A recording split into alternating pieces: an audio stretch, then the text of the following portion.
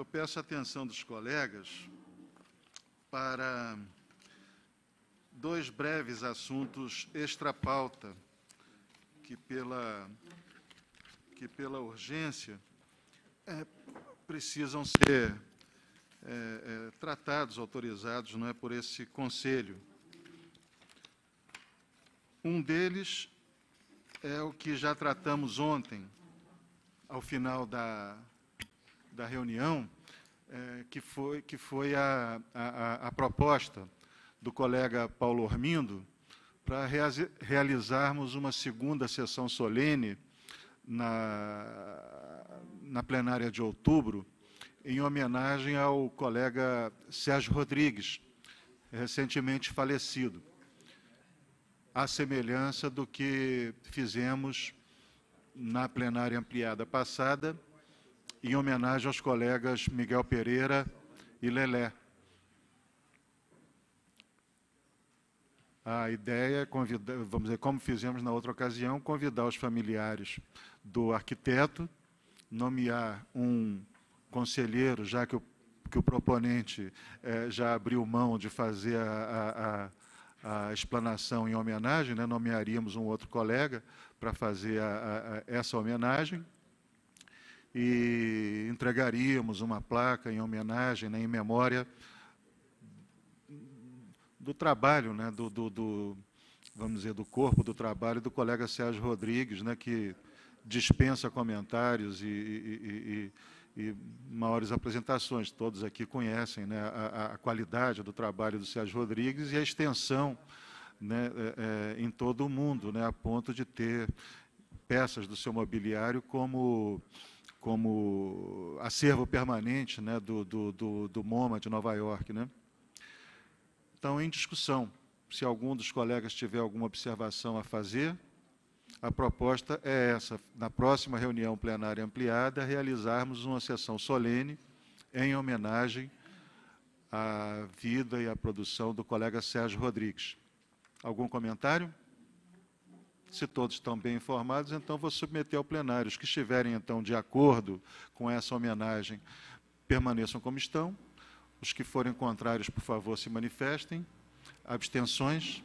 Então, aprovado por unanimidade a proposta do conselheiro Paulo Ormindo e realizaremos, então, é, conforme aqui acertado. O outro ponto é, extra-pauta é, trata de uma, de uma composição de, de, de uma representação do CAU Brasil numa reunião no exterior. É um convite que recebemos nessa semana, é, o convite originário da Federação Russa de Arquitetos para um evento promovido pela é, promovido a pedido da Unido ONU, né, a Organização das Nações Unidas para o Desenvolvimento Industrial, é, para é, os resultados do, do 100 mais Fórum Rússia embasarão a criação do Centro Russo para a Construção e Informação de Edifícios Altos, Arranha-Céus, que, em conjunto com especialistas locais e estrangeiros, elaborarão um guia para aperfeiçoar e estabelecer padrões de qualidade e segurança na construção de edifícios altos em toda a Federação Russa.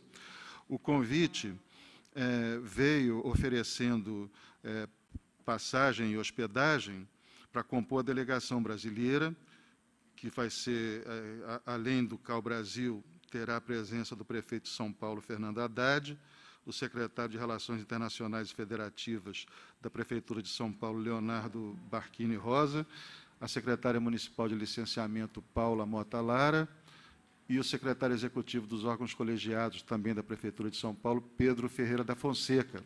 O convite veio nominalmente ao presidente do CAL Brasil e ao colega Roberto Simon, coordenador da Comissão de Relações Internacionais. Chegou aqui na semana passada. Então, a delegação que a presidência propõe é, vamos dizer, é que seja composta pelos dois convidados, o presidente do CAL Brasil e o coordenador da Comissão de Relações Internacionais. Em discussão, alguma observação, alguma solicitação de informação de algum dos colegas? eu tenho aqui os documentos né, de, de, de convite né, dessa. Está aqui. Os organizadores são a União de Arquitetos da Rússia e o Ministério da Construção, Habitação e Utilities da Federação Russa. Em discussão? Todos estão informados? Então, os que estiverem de acordo com essa delegação. É, é, sim, perdão. E essa reunião vai acontecer nos dias 24 a 26 de setembro de 2014, agora próximo, né? Então, os que estiveram, estiverem de acordo, por favor, permaneçam como estão. Os que forem contrários, por favor, se manifestem. Abstenções? Então, aprovado por unanimidade. O colega Simon, então, fica convocado. Agradeço aos colegas pela, pela atenção e apoio e convido então para iniciarmos a, a, a, a, ordem do dia para hoje, que, segundo a nossa pauta, inicia pelo projeto de resolução que dispõe sobre a RRT e revoga as resoluções CAL Brasil número 17, 24, 31 e 45.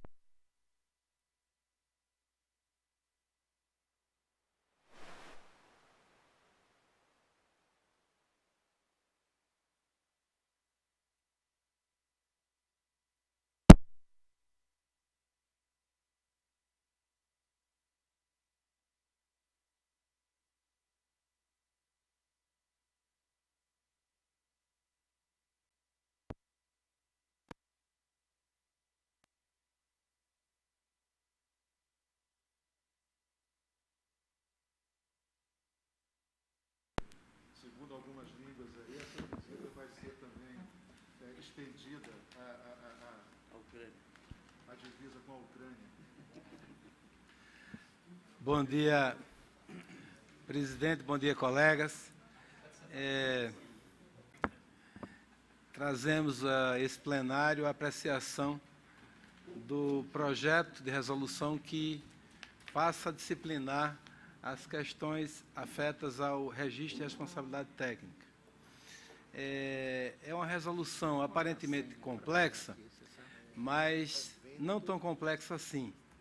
Ela é longa porque ela consolida quatro resoluções anteriores e tratando então no único normativo de um tema que tem uma grande extensão e tem uma aplicabilidade muito grande no cotidiano dos arquitetos, é, exige então de nós um, uma atenção especial, sobretudo porque ela se apresenta muito perto do final do nosso mandato. Então, é, reputamos que é, se, se constitui de um documento que passa a compor o legado que essa gestão deixa para a que vem a nos suceder. Daí eu, sempre que, em nome da CEP, trago esse plenário, projeto de resolução. Conclamo os colegas a uma participação efetiva, assim eu faço. Eu acho que ela é longa, mas dá para a gente encarar com o desafio com serenidade e certamente o documento resultante será muito melhor do que os quatro que, de forma dispersa, tratam da matéria. É uma resolução de 50 artigos, dividida em sete capítulos. O primeiro capítulo trata de questões gerais, conceituais e de natureza introdutória. O segundo e o terceiro disciplina, na essência, o que hoje consta da Resolução 17, que trata do RRT comum, dizendo assim. O capítulo seguinte, que é o 4, substitui a Resolução 31, que, aprovada nesse plenário em 2012, dispõe sobre o RRT de atividade extemporâneo, é, e o capítulo 5, é, ele trata do registro de atividade realizada no exterior. Por último, capítulo 6, substitui parte da resolução 24, mais precisamente o capítulo 4 da resolução 24, que dispõe sobre baixa, cancelamento e nulidade de RRT, são procedimentos necessários para a composição do acervo técnico. Por isso, inicialmente foi regulamentado junto com a resolução que trata de certidão de acervo técnico. Dessa maneira, é, todo o, o, o, o elemento normativo que versa sobre a RRT fica nesse novo normativo que hoje discutimos nesse plenário. E, como disse ontem, e repito, a SEB já iniciou um processo de revisão das resoluções que tratam de certidões, a 24, a 50 e a 54. Então, essas três resoluções serão consolidadas numa única, que pretendemos trazer uma versão inicial para leitura nesse plenário, na próxima plenária de outubro, e é, espero contar de novo com o apoio dos colegas para podermos votá-la na plenária de novembro. Bom, dito isso, eu passaria a ler o, o documento. É, imagino que todos leram, mas, como acho que para ajudar a compreensão é necessário uma leitura integral. Resolução X de 12 de setembro de 2014, que dispõe sobre o Registro de Responsabilidade Técnica, RRT, referente a projetos, obras e demais serviços técnicos no âmbito da arquitetura e urbanismo e dá outras providências.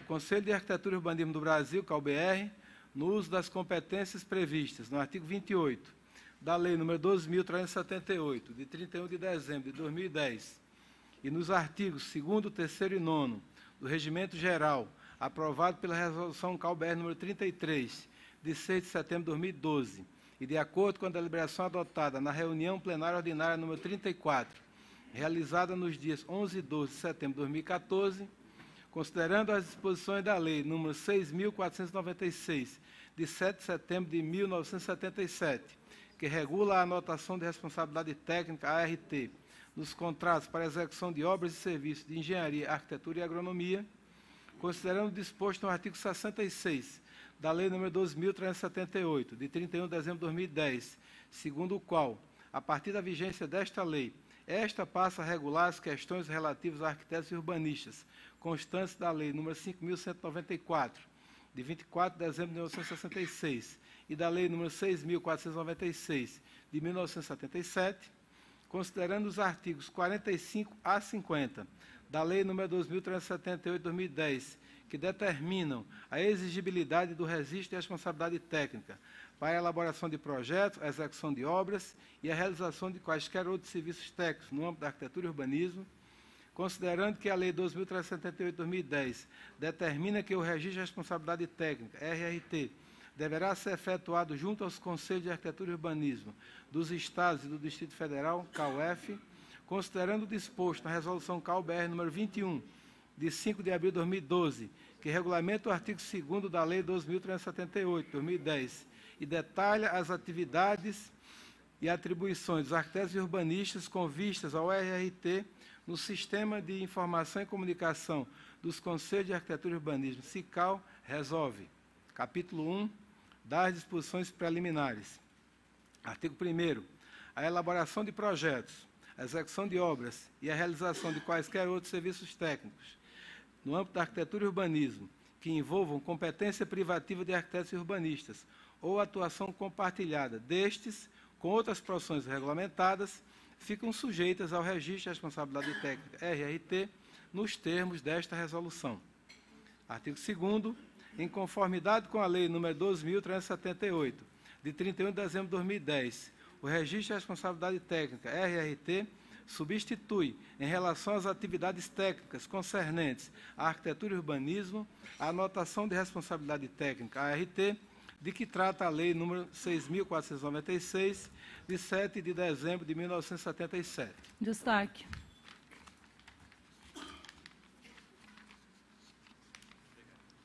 Artigo 3 O RRT deverá ser efetuado, inciso 1 previamente ao início da atividade técnica, quando se tratar das atividades listadas nos item 2 do artigo 3 da Resolução CalBR número 21 de 2012, por serem consideradas de materialização. É, inciso 2 antes ou durante o período de realização da atividade técnica, quando se tratar das atividades listadas nos itens 1 e 3 a 7 do artigo 3 da Resolução CalBR número 21 de 2012, por serem consideradas de criação e elaboração intelectual. Destaque no inciso 1. Parágrafo único. Destaque da Cláudia. Em atendimento ao que dispõe o parágrafo único do artigo 50 da Lei 2.378 de 2010, não se aplica a obrigatoriedade de registro nos prazos de que tratam os incisos deste artigo aos casos de atividade técnica realizada em emergência oficialmente decretada, quando será permitido ao arquiteto urbanista efetuar o RRT pertinente em até 90 dias depois de cessada a emergência.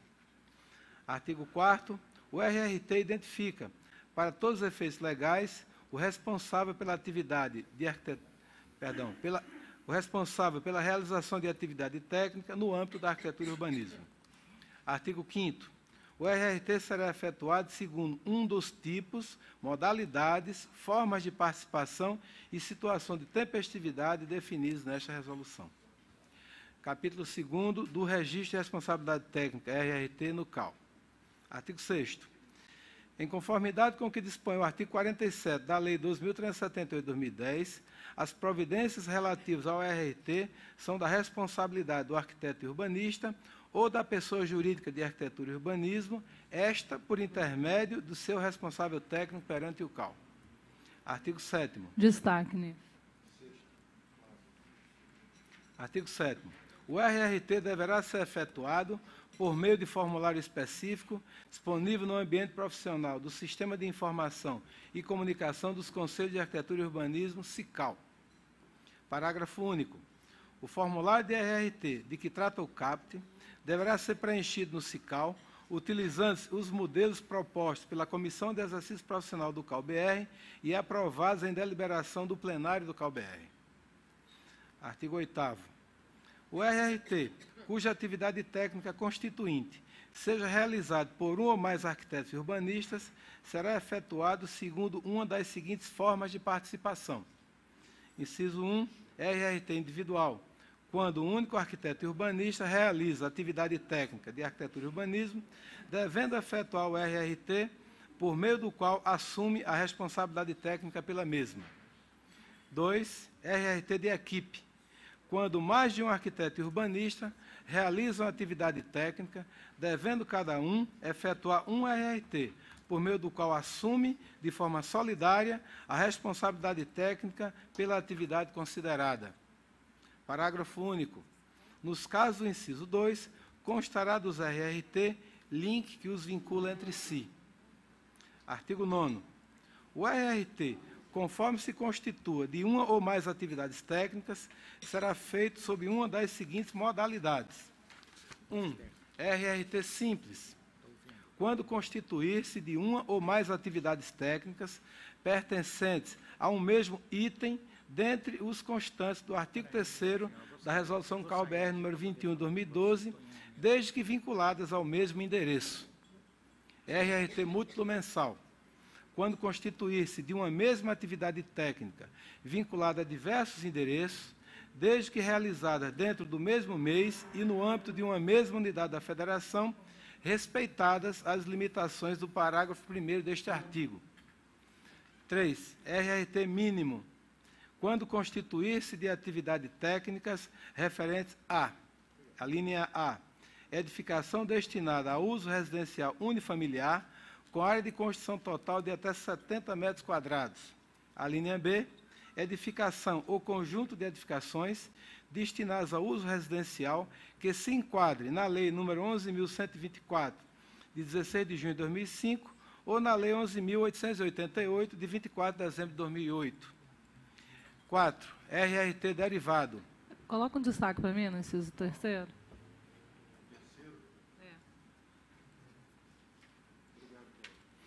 RRT derivado. Quando constituir-se de atividade técnica, objeto de anotação de responsabilidade técnica ART, efetuada até 15 de dezembro de 2011, junto aos então Conselhos de Engenharia, Arquitetura e Agronomia, CREA. Parágrafo 1 São passíveis de RRT múltiplo mensal, de que trata o inciso 2, as atividades técnicas, a linha A, do item 5 do Artigo 3 da Resolução CalBR número 21 de 2012. As seguintes: 5.4 vistoria, 5.5 perícia, 5.6 avaliação, 5.7 laudo técnico, 5.8 parecer técnico, 5.9 auditoria 5.10, arbitragem e 5.11, mensuração. A linha- Destaque. Destaque em qual, Cláudia? No, no final aí, põe um destaque nesse item, nessa linha A. Mensuração, a linha A. Eh, a linha B, do item 7. O item 7, como todos lembram, trata de engenharia de segurança do trabalho. Do item 7 do artigo 3 da Resolução Calber número 21, 2012. 7.5.1, vistoria. 7.5.2, perícia. 7.5.3, avaliação. 7.5.4, laudo. 7.6, laudo de inspeção sobre atividades insalubres. 7.7, laudo técnico de condições de trabalho, LTCAT. E 7.8.4, avaliação de atividades perigosas. Mesmo destaque. Parágrafo 2 Na modalidade de RRT mínimo, poderão ser registradas duas ou mais atividades técnicas, desde que pertencentes ao grupo 1, projeto, perdão, item 1, projeto, ao item 2, execução, ou a ambos, do artigo 3 da Resolução Calber número 21, de 2012, e desde que vinculadas ao mesmo endereço. Parágrafo 3 Somente será permitido RRT derivado de ART, quando esta for constituída por atividade técnica que corresponda às atuais atividades e atribuições do arquiteto urbanista, conforme constam da Lei nº 12.378/2010 e da Resolução Calber nº 21 de 2012, devendo-se manter no RRT em questão os mesmos dados anteriormente anotados. Artigo 10. Em conformidade com o que dispõe o artigo 48 da Lei 12.378/2010, para a efetivação do RRT será exigido previamente o recolhimento da taxa correspondente. Parágrafo 1 Para fins do disposto no CAPT, o documento de arrecadação bancária destinado ao pagamento da taxa de RRT terá como sacado o arquiteto e urbanista ou a pessoa jurídica de arquitetura e urbanismo contratada ou a pessoa física ou jurídica contratante. Parágrafo 2 Caberá o recolhimento de uma única taxa de RRT, a linha A, para uma ou mais atividades técnicas do mesmo item, dos constantes do artigo 3 da Resolução Calber número 21, 2012, no caso de RRT simples. B. Para a mesma atividade técnica, dentre as listadas no parágrafo 1 do artigo 9 desta resolução, vinculada a um ou mais endereços de uma mesma unidade da federação e realizadas dentro do mesmo mês, no caso de RRT múltiplo mensal. E C. Para as atividades pertencentes ao item 1 e 2 do artigo 3 da Resolução Calber número 21 de 2012, vinculadas a um único endereço, no caso de RRT mínimo. Parágrafo 3 No caso de Ô, Chico, RRT... destaque aí para mim, por favor. Qual? Na, na, na, na linha C. C, Cláudio. Parágrafo 3 No caso de RRT de equipe, cada um dos arquitetos e urbanistas responsáveis técnicos deverá efetuar o RRT que lhe corresponde, sendo devida uma taxa para cada um deles. Parágrafo 4 Não será devida taxa para o RRT derivado. Artigo 11. A taxa, do- a taxa referente ao RRT será paga ao KUF a que se vincular a atividade técnica, de que se constitui, respeitadas as seguintes condições. Inciso 1. Ao KUF da jurisdição em que se localizou o empreendimento, nos casos de A. Todas as atividades técnicas dos itens 2 e 6 do artigo 3 da Resolução CalBR número 21. B. Supervisão de obras e serviços técnicos. C. Direção ou condução de serviço técnico. D. Gerenciamento de obras serviços técnicos. E. Acompanhamento de obras serviços técnicos. Fiscalização de obras serviços técnicos. Assistência técnica. Vistoria. Perícia. Avaliação. Laudo técnico. Parecer técnico. Auditoria. Arbitragem. Mensuração. Desempenho de cargo e função. Isto porque são consideradas atividades que devem ser realizadas no local aonde o empreendimento se realiza. 2. Ao CAUF da jurisdição em que se localizar o domicílio de registro do arquiteto urbanista ou da pessoa jurídica de arquitetura e urbanismo nos demais casos, porque são consideradas atividades que podem ser realizadas no escritório ou fora do local do endereço, como projeto, por exemplo. Artigo 12. em conformidade com o que dispõe o artigo 50 da Lei nº 2.378 de 2010, a falta do RRT sujeitará o arquiteto urbanista ou a pessoa jurídica de arquitetura e urbanismo, sem prejuízo da responsabilização pessoal pela violação ética e da obrigatoriedade de paralisação do trabalho até a regularização da situação, a multa equivalente a 300% do valor da taxa do RRT não paga. Parágrafo único. A penalidade referida no caput não incidirá no caso de atividade técnica realizada em situação de emergência oficialmente decretada, desde que o arquiteto urbanista ou a pessoa jurídica de arquitetura e urbanismo diligencie pela regularização em até 90 dias depois de cessada a emergência. Capítulo 3 do RRT inicial e do RRT retificador. Artigo 13. O registro de responsabilidade técnica referente à atividade realizada por arquiteto e urbanista será efetuado no CICAL conforme um dos seguintes tipos. 1. Um, RRT inicial. É o registro original por meio do qual o arquiteto e urbanista, ao efetuá-lo, assume a condição de responsável técnico pela atividade então registrada. 2. RRT retificador é aquele que se utiliza quando dá necessidade de retificação de RRT anteriormente efetuado, com vistas à correção de dados ou alteração do objeto que o constitui, desde que não tenha sido procedida a baixa do mesmo. Parágrafo único. Somente será permitido efetuar RRT retificador se este for da mesma modalidade do RRT a ser modificado. Artigo 14. Para fins do disposto no artigo 2 do, perdão, para fim do disposto no inciso 2 do artigo anterior, considera-se 1. Um, correção de dados às informações relativas a valor do contrato, valor dos honorários, contratante, o endereço do empreendimento, obra ou serviço técnico. 2. Alteração do objeto são consideradas as informações relativas a substituição, inclusão ou exclusão de atividade técnica, respeitadas as condições do artigo 9 desta resolução. B. Ampliação ou redução de quantitativos referentes à atividade técnica. Ou C. Descrição do objeto constituinte da atividade técnica. Põe, põe um destaque no inciso 1 aí para mim, por favor. Inciso 1, destaque para a conselheira Cláudia. Artigo 15. Não será devida taxa para o RRT retificador. Capítulo 4 do RRT extemporâneo.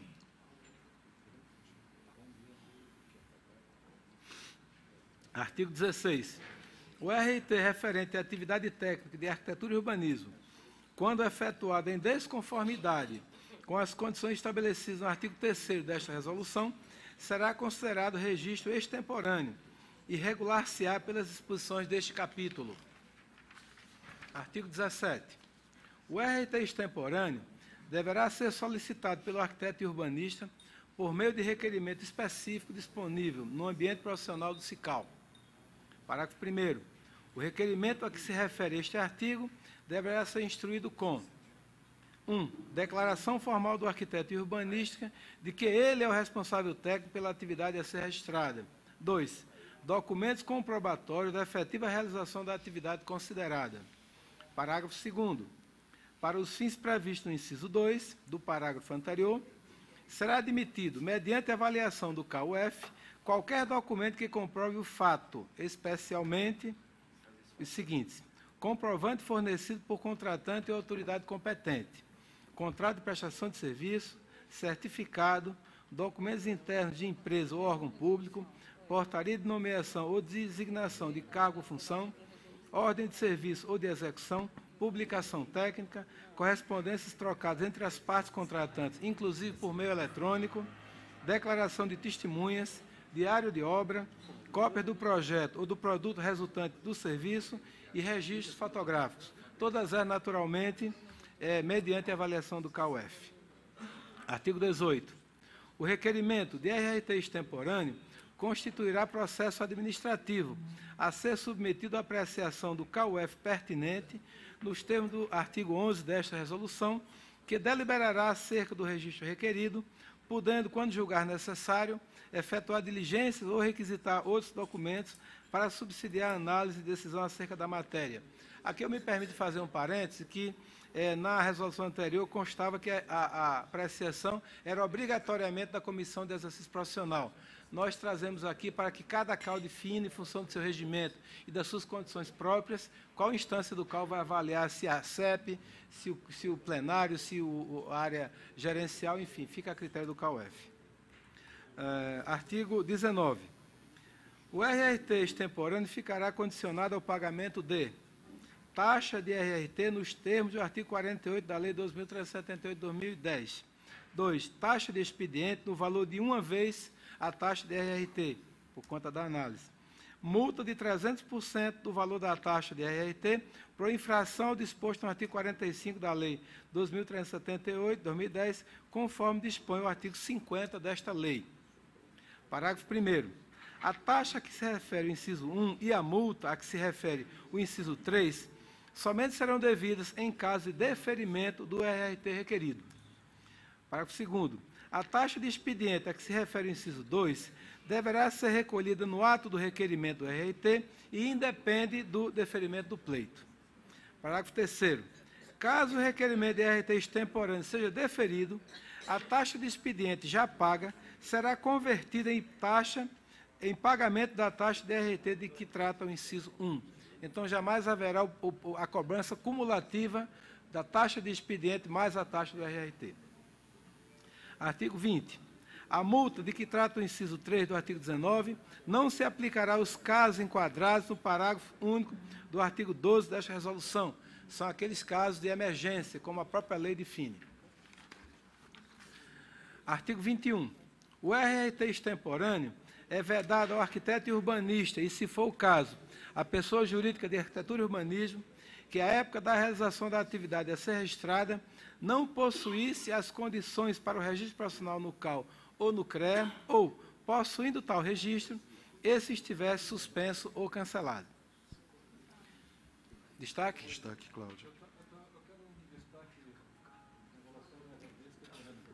Qual é, o, qual é o inciso? Você poderia dar uma olhada e aí em seguida a gente. É? Você quer, quer pegar uma cópia vem cá, aqui? Vem cá, tem aqui. Pega aqui. Porque você expõe qual é o artigo especificamente. Capítulo 5 do RRT referente à atividade técnica realizada no exterior.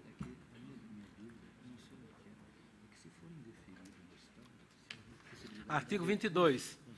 Em conformidade com o disposto no parágrafo 2 do artigo 45 da Lei 12.378 de 2010, é facultado ao arquiteto e urbanista com registro ativo no CAL efetuar a RT constituído por atividade técnica de arquitetura e urbanismo realizada no exterior. Artigo 23. O RRT de atividade técnica realizado no exterior deverá ser solicitado pelo arquiteto e urbanista por meio de requerimento específico disponível no ambiente profissional do CICAL. Parágrafo 1. O requerimento a que se refere este artigo deverá ser instruído com declaração formal do arquiteto e urbanista de que ele é o responsável técnico pela atividade a ser registrada. Aqui tem um A mais. Pela atividade, não tem, pela a atividade, não, é, Rodrigo, por favor, pela atividade, no inciso 1. Isso. 2. Documentos comprobatórios da efetiva realização da atividade considerada. Parágrafo 2 Para os fins previstos no inciso 2 do parágrafo anterior, será admitido, mediante a avaliação do CAUF, qualquer documento que comprove o fato, especialmente comprovante fornecido por contratante ou autoridade competente, prestação de serviço, certo, compro, tá faltando, é comprovante de prestação de contrato de prestação de serviço, está faltando um pedacinho aí, ó. Contrato de prestação de serviço, inciso 2. Certificado documentos internos de empresa ou órgão público, portaria de nomeação ou designação de cargo ou função, ordem de serviço ou de execução, publicação técnica, correspondências trocadas entre as partes contratantes, inclusive por meio eletrônico, declaração de testemunhas, diário de obra, cópia do projeto ou do produto resultante do serviço e registros fotográficos. Artigo 24 para os fins de efetivação de RRT referente à atividade técnica de arquitetura e urbanismo realizada no exterior, toda a documentação apresentada em língua estrangeira deverá, 1. Atender aos requisitos de validade conforme a legislação do país onde a atividade técnica for realizada. 2. Ser legalizada pela autoridade consular brasileira. E 3. Destaque no 2. E 3. Ser acompanhada da correspondente tradução para o vernáculo por tradutor público juramentado nos termos da legislação brasileira vigente. No 3, Geraldine. Já anotei aqui. Tá. No 24 inteiro. É, artigo 25. O requerimento de RRT referente à atividade técnica de arquitetura e urbanismo realizada no exterior constituirá processo administrativo a ser submetido à apreciação do CAUF, do domicílio de registro do requerente, que deliberará acerca do registro requerido, podendo, quando julgar necessário, efetuar diligências ou requisitar outros documentos para subsidiar a análise e decisão acerca da matéria. Novamente aqui, novamente aqui, sai da alçada da comissão de exercício profissional para o CAL, o F deliberar qual instância deverá fazer tal análise. Destaque viu? Anotei, Cláudia. Artigo 26. O RRT referente à atividade técnica de arquitetura e urbanismo realizado no exterior ficará condicionado ao pagamento de 1. Um, taxa de RRT nos termos do artigo 48 da Lei 2.338-2010. 2. Taxa de expediente no valor de três vezes o valor da taxa de RRT. Parágrafo 1 A taxa de RRT a que se refere o inciso 1 somente será devida em caso de deferimento do RRT requerido. A- Parágrafo 2 A taxa de expediente a que se refere o inciso 2 será- deverá ser recolhida no ato do requerimento do RRT e independe do deferimento do RRT, do pleito. É, destaque. Parágrafo 2 Cláudia. Nesse aí é parágrafo segundo. No Segundo. inciso segundo. No parágrafo Parágrafo segundo. segundo. Parágrafo segundo. Capítulo 6 da baixa do cancelamento e da nulidade de RRT. Seção 1 da baixa do RRT. Artigo 27. O arquiteto urbanista que efetuar RRT de atividade técnica de arquitetura e urbanismo obriga-se, à época da conclusão dessa atividade, a proceder à baixa do RRT em questão. Artigo 28. A baixa de RRT significa que, neste ato, se encerra a participação do arquiteto urbanista na atividade técnica por ele registrada. 28, né? Parágrafo único. A conclusão da atividade técnica realizada não exime o arquiteto urbanista e, se for o caso, a pessoa jurídica de arquitetura e urbanismo das responsabilidades administrativa, civil ou criminal àquelas relacionadas. Artigo 29. A baixa de RRT deverá ser efetuada pelo arquiteto urbanista responsável, utilizando-se de formulário específico disponível no CICAL, no qual deverá ser informado que a atividade técnica registrada foi concluída. Artigo 30. Não será permitida a baixa parcial de RRT. Parágrafo 1 Ah, Caso... aqui. o- o- algum, alguma coisa? Eu, é, eu vou fazer um destaque.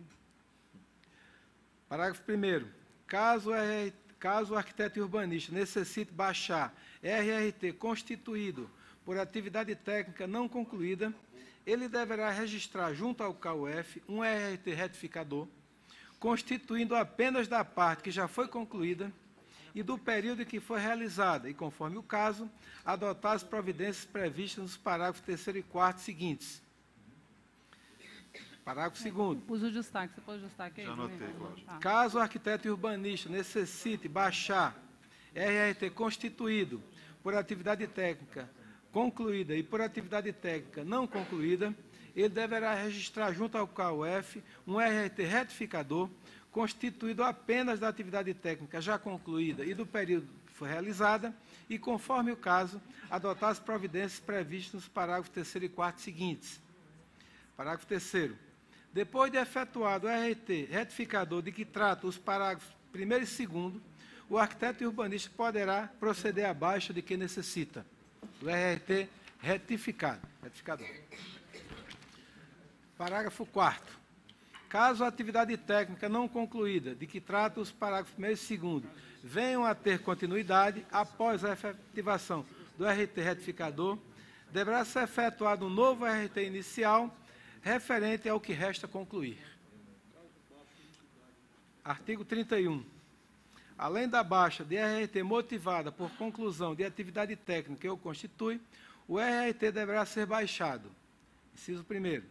Por interrupção da atividade técnica, se ocorrer uma das seguintes situações: rescisão contratual, retirada do arquiteto e urbanista da condição de responsável técnico, paralisação da atividade técnica.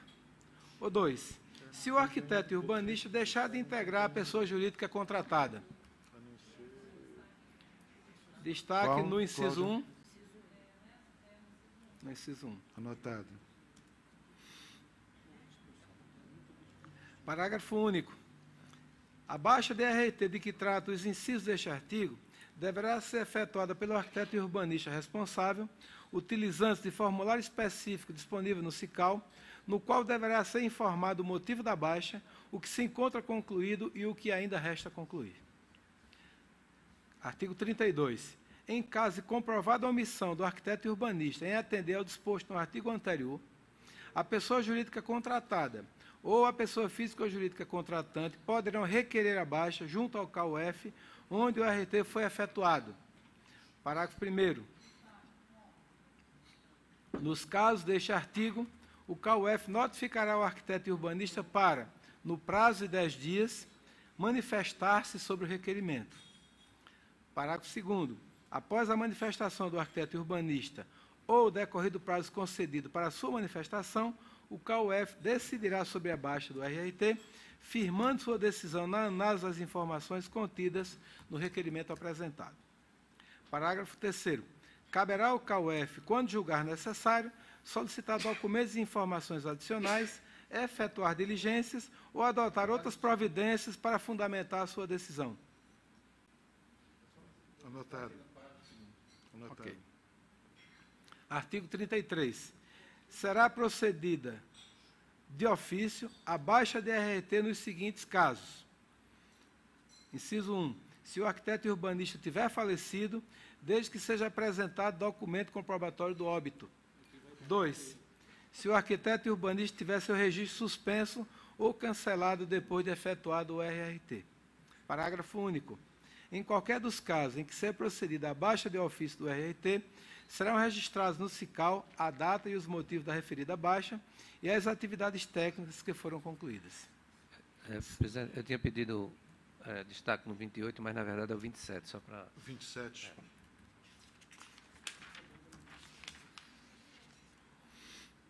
Seção 2.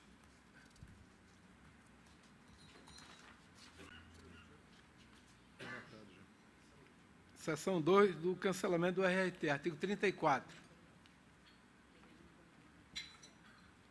Dar-se-á o cancelamento de RRT quando nenhuma das atividades técnicas que o constituem for realizada. Parágrafo único. O cancelamento de um RRT significa torná-lo sem efeito, bem como os direitos e deveres decorrentes do que nele foi registrado. Destaque, Cláudio. Destaque no 34. No 34 ou no parágrafo, Cláudio? Não, lá é no 34. No caput? É. Artigo 35. O cancelamento de RRT deverá ser requerido junto ao CAUF pelo arquiteto e urbanista responsável técnico, pela pessoa jurídica contratada ou pela pessoa física ou jurídica contratante, por meio de formulário específico disponível no CICAL, explicitando-se os motivos do cancelamento. Artigo 36. O cancelamento de RRT deverá ser precedido da instauração de processo administrativo a ser submetido à apreciação do CAUF, que deliberará acerca da matéria, podendo, quando julgar necessário, efetuar diligências ou requisitar outros documentos e informações adicionais para fundamentar a sua decisão. Artigo É, 37. destaque. Anotado, Cláudio. Artigo 37.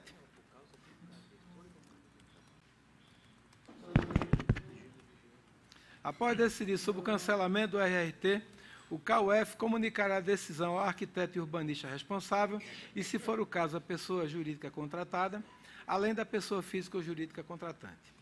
Artigo 38. Após ter sido efetuado o cancelamento do RRT, os motivos e a data da decisão ficarão registrados no CICAL. Artigo 39.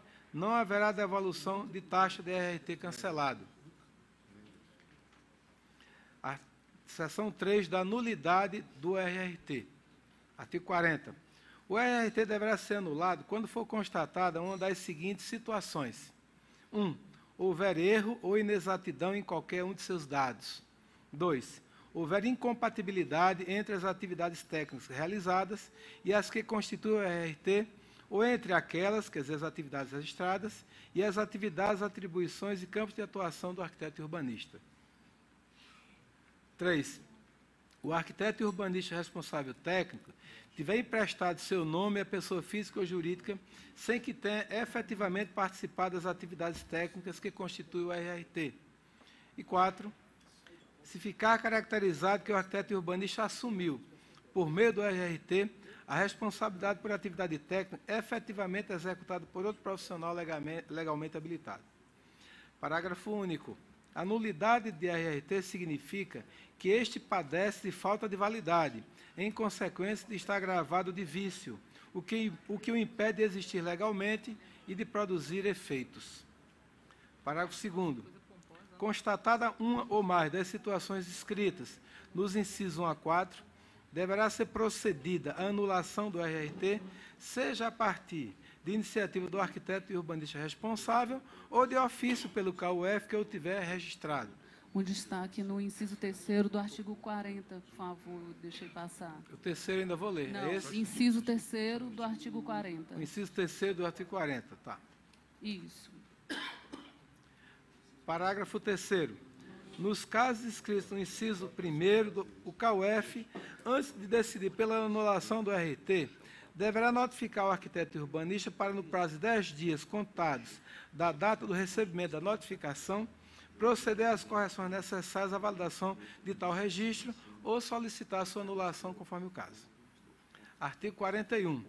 A anulação de RRT deverá ser precedida da instauração de processo administrativo a ser submetido à apreciação do CAUF, que deliberará acerca da matéria, podendo, quando julgar necessário, efetuar diligências ou requisitar outros documentos e informações adicionais para fundamentar a sua decisão no 41 para Laércio.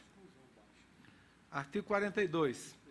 Após decidir sobre a anulação do RRT, o CAUF comunicará sua decisão ao arquiteto urbanista responsável e, se for o caso, à pessoa jurídica contratada, além da pessoa física ou jurídica contratante.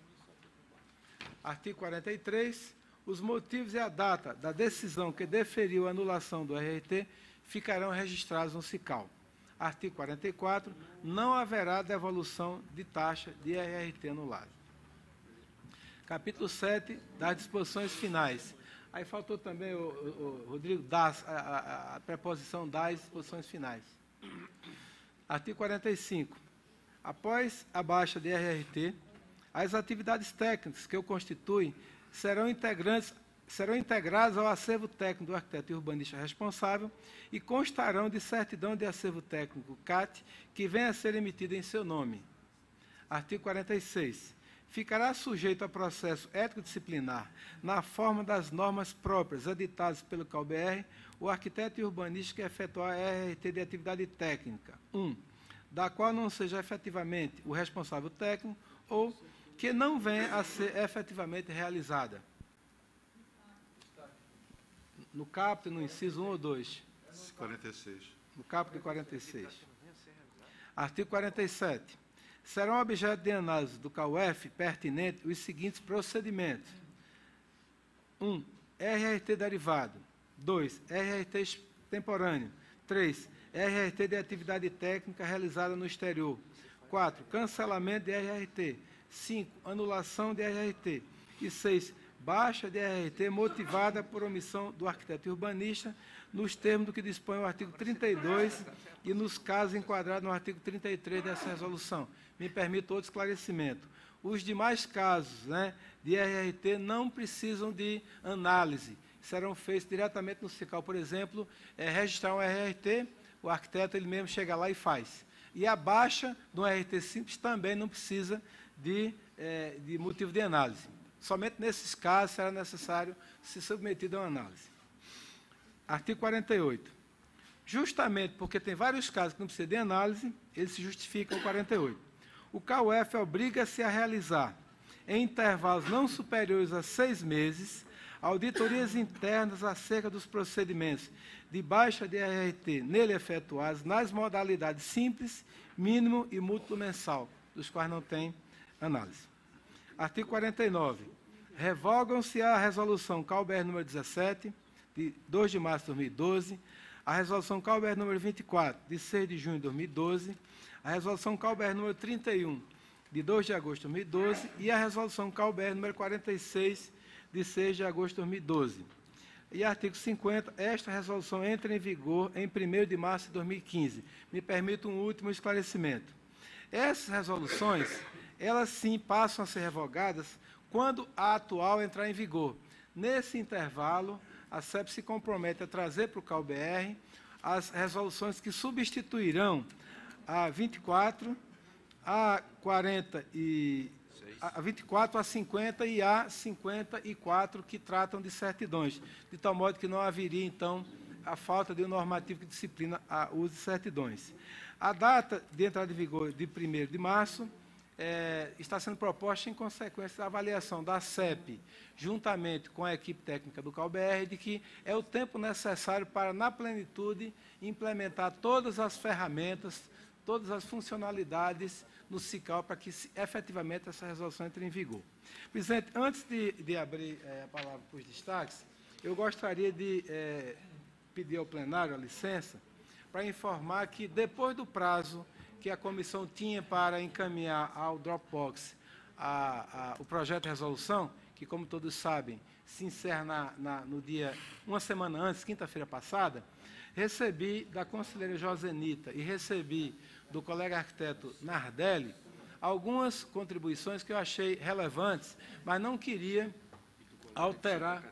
E do colega de Santa Catarina? Isso, ontem. ontem. Conselho diretor não, que, que não, eu não queria alterar o que já tinha sido colocado aqui. Mesmo assim, é, eu apresento, talvez assim de uma maneira meio inusitada, como destaque da própria comissão. Então, eu pediria ao colega é, Rodrigo que colocasse o, em, o que está em vermelho, é uma consideração da colega é, Josanita, que ela opina que já não haveria necessidade de a gente continuar fazendo referência à RT, uma vez que passados quase três anos, já se tem um domínio bastante razoável de que o RRT já não já, já é algo que não depende mais de vincular a RT, o que a comissão considera realmente é pertinente. E ela sugere também que a gente faça um, um considerando adicional é, que, que demonstra que essa resolução que hoje está sendo apresentada, ela vem também em razão da necessidade de consolidar as outras três. Isso foi explicado por este relator, mas não estava grafado no texto da resolução. Então, ela opinou, ap apresentou a proposta de texto, que também nos pareceu é, é, pertinente, e a, eu atensivo que a comissão acolhe. E, por fim, justamente porque ela sugere a retirada do primeiro, do primeiro considerando que fala de ART, naturalmente que também propõe a retirada do artigo 2 que também faz referência à ART, o que a comissão também acolhe. Então, são essas as é, inusitadas considerações adicionais que a comissão traz a esse plenário. Muito obrigado. Bom, então, se o, se o plenário acolhe ah, os destaques já apresentados pelo relator, como acolhidos também pela Comissão de Exercício Profissional, podemos considerar, então, o um novo texto, se não houver é, é, objeção, objeção do, dos, do, de algum dos colegas. Tudo bem? Podemos considerar? Então, vamos lá. Aos destaques aqui já, pela já, ordem. Já tira aí o, o, o que está cortado. Isso. E inclui o que, o que foi sugerido, por favor, Rodrigo. É isso. Deleta. Já tira. Não, Presidente. Que deixar cortado. Né? É, fica o registro. Original, tá bom. Deixa... É porque a própria comissão trouxe, né? mas tudo bem. Presidente, aí, aqui do teu lado. É, se eu puder fazer só algumas pequenas considerações, porque não são, não estão nos destaques. Certo. E como o colega Francisco me tranquilizou, dizendo uhum. que essas considerações são passíveis de serem solucionadas uhum. nos formulários, enfim, eu só gostaria que ficasse constasse essas, esses? Eu, de fato, É, vou passar a palavra aqui ao colega Simão, que é um destaque é, é, é geral, né, geral, apresentado na reunião do Conselho Diretor. Pois Eu... não, Cláudio? Tá. tá okay. Então, o que eu, eu levei ao conhecimento do colega, que, de certa forma, me tranquilizou, dizendo que, eh, se não todos, alguns desses pontos já se resolve simplesmente com alteração de formulário. É, eu li posteriormente o documento encaminhado pelo Estado de Santa Catarina, né, e realmente ele faz algumas considerações, se eventualmente num desses pontos que já foram salientados pelos colegas como destaque, eu entender que deva fazer alguma introdução, eu faço. Mas eu queria deixar registrado nove pontos, que são os pontos que nós entendemos como síntese né, é, do entendimento, para que se avalie, é, seja hoje ou seja no futuro, colega, para alteração dessas, é, desses, desses, dessas formulários. Bom, o primeiro, ou principais pontos são, a resolução precisa prever a emissão de certidão negativa de obras, por quê? Para cancelamento de ISS nas prefeituras. Tá? Dois, extinção do campo de inscrição do RRT ou uma alteração que permita que não haja um meio de ampliar as atribuições. As pessoas estão colocando nesse campo coisas como até eh, a RRT extemporânea. Então, estão, estão usando o campo de forma indevida. Então, tem que pensar numa fórmula de, de resolver isso. O RRT múltiplo mensal deve permitir a inclusão de mais uma atividade. O colega tem algumas, eh, obviamente, considerações sobre isso, mas eu já cito como exemplo, por, por exemplo, vistoria e laudo técnico. Né? Então, você faz vistoria e já faz o laudo. Então, uma RRT mata, em princípio, mataria isso. O colega, na, na reunião, levantou de que, claro, eh, aí seria dar duas atribuições e não uma, ou, ou dentro do documento, se não me, se não me falha a memória, na reunião. Necessidade de emitir um boleto de RRT com contratante para órgão público e prazo ampliado aos cinco dias. Já foi dado. Aí. Já foi dado. Ótimo. RRT extemporâneo, regularizador para substituir o RRT elaborado, mas não pago no prazo. Vai gerar multa? É, RRT extemporâneo vai gerar multa e não processo ético? Delegação de competência da, C, da CEP, né, estadual para, operacional, para o operacional, analistas técnicos nas decisões previstas, entre parênteses, RRT extemporâneo, RRT exterior, cancelamento e nulidade de RRT. Oitavo. Já foi também. Já foi também, perfeito, obrigado, conselheiro.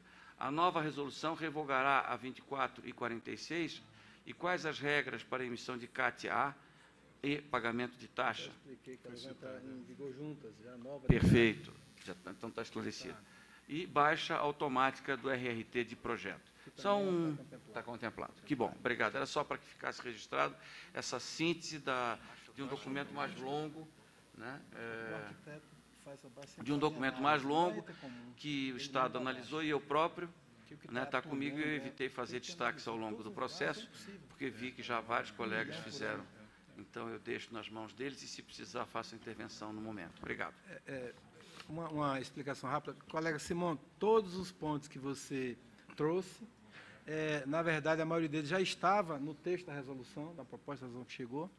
É, o único que é, não está, e, eu, eu, como relator, vejo alguma dificuldade em acolher, é a inclusão de mais de uma atividade dentro da mesma taxa, do mesmo registro, para o múltiplo mensal. Porque, na verdade, o múltiplo mensal já é uma grande concessão que se faz para que o arquiteto, com um único registro ao longo de todo o mês, possa registrar uma determinada atividade. Então, se ele desejar fazer duas atividades, ele continua podendo fazer vários contratos dentro do mesmo mês com um registro e uma taxa. Né? Então, eu acho que já é algo bastante, é, é, é, é digamos assim, condescendente né, com os arquitetos que, que então, nesse sentido, a comissão. Mas 95% foi. Então, a colega Cláudia tem também um, um, um destaque geral.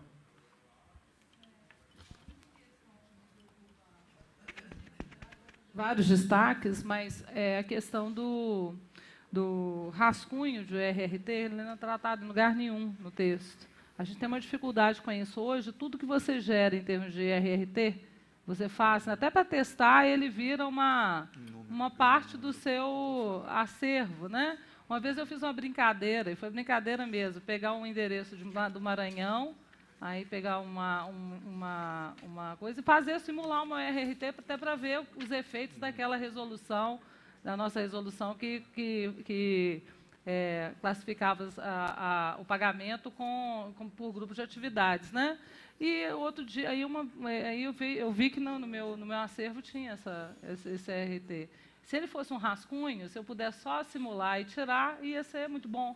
Mas isso não existe lá.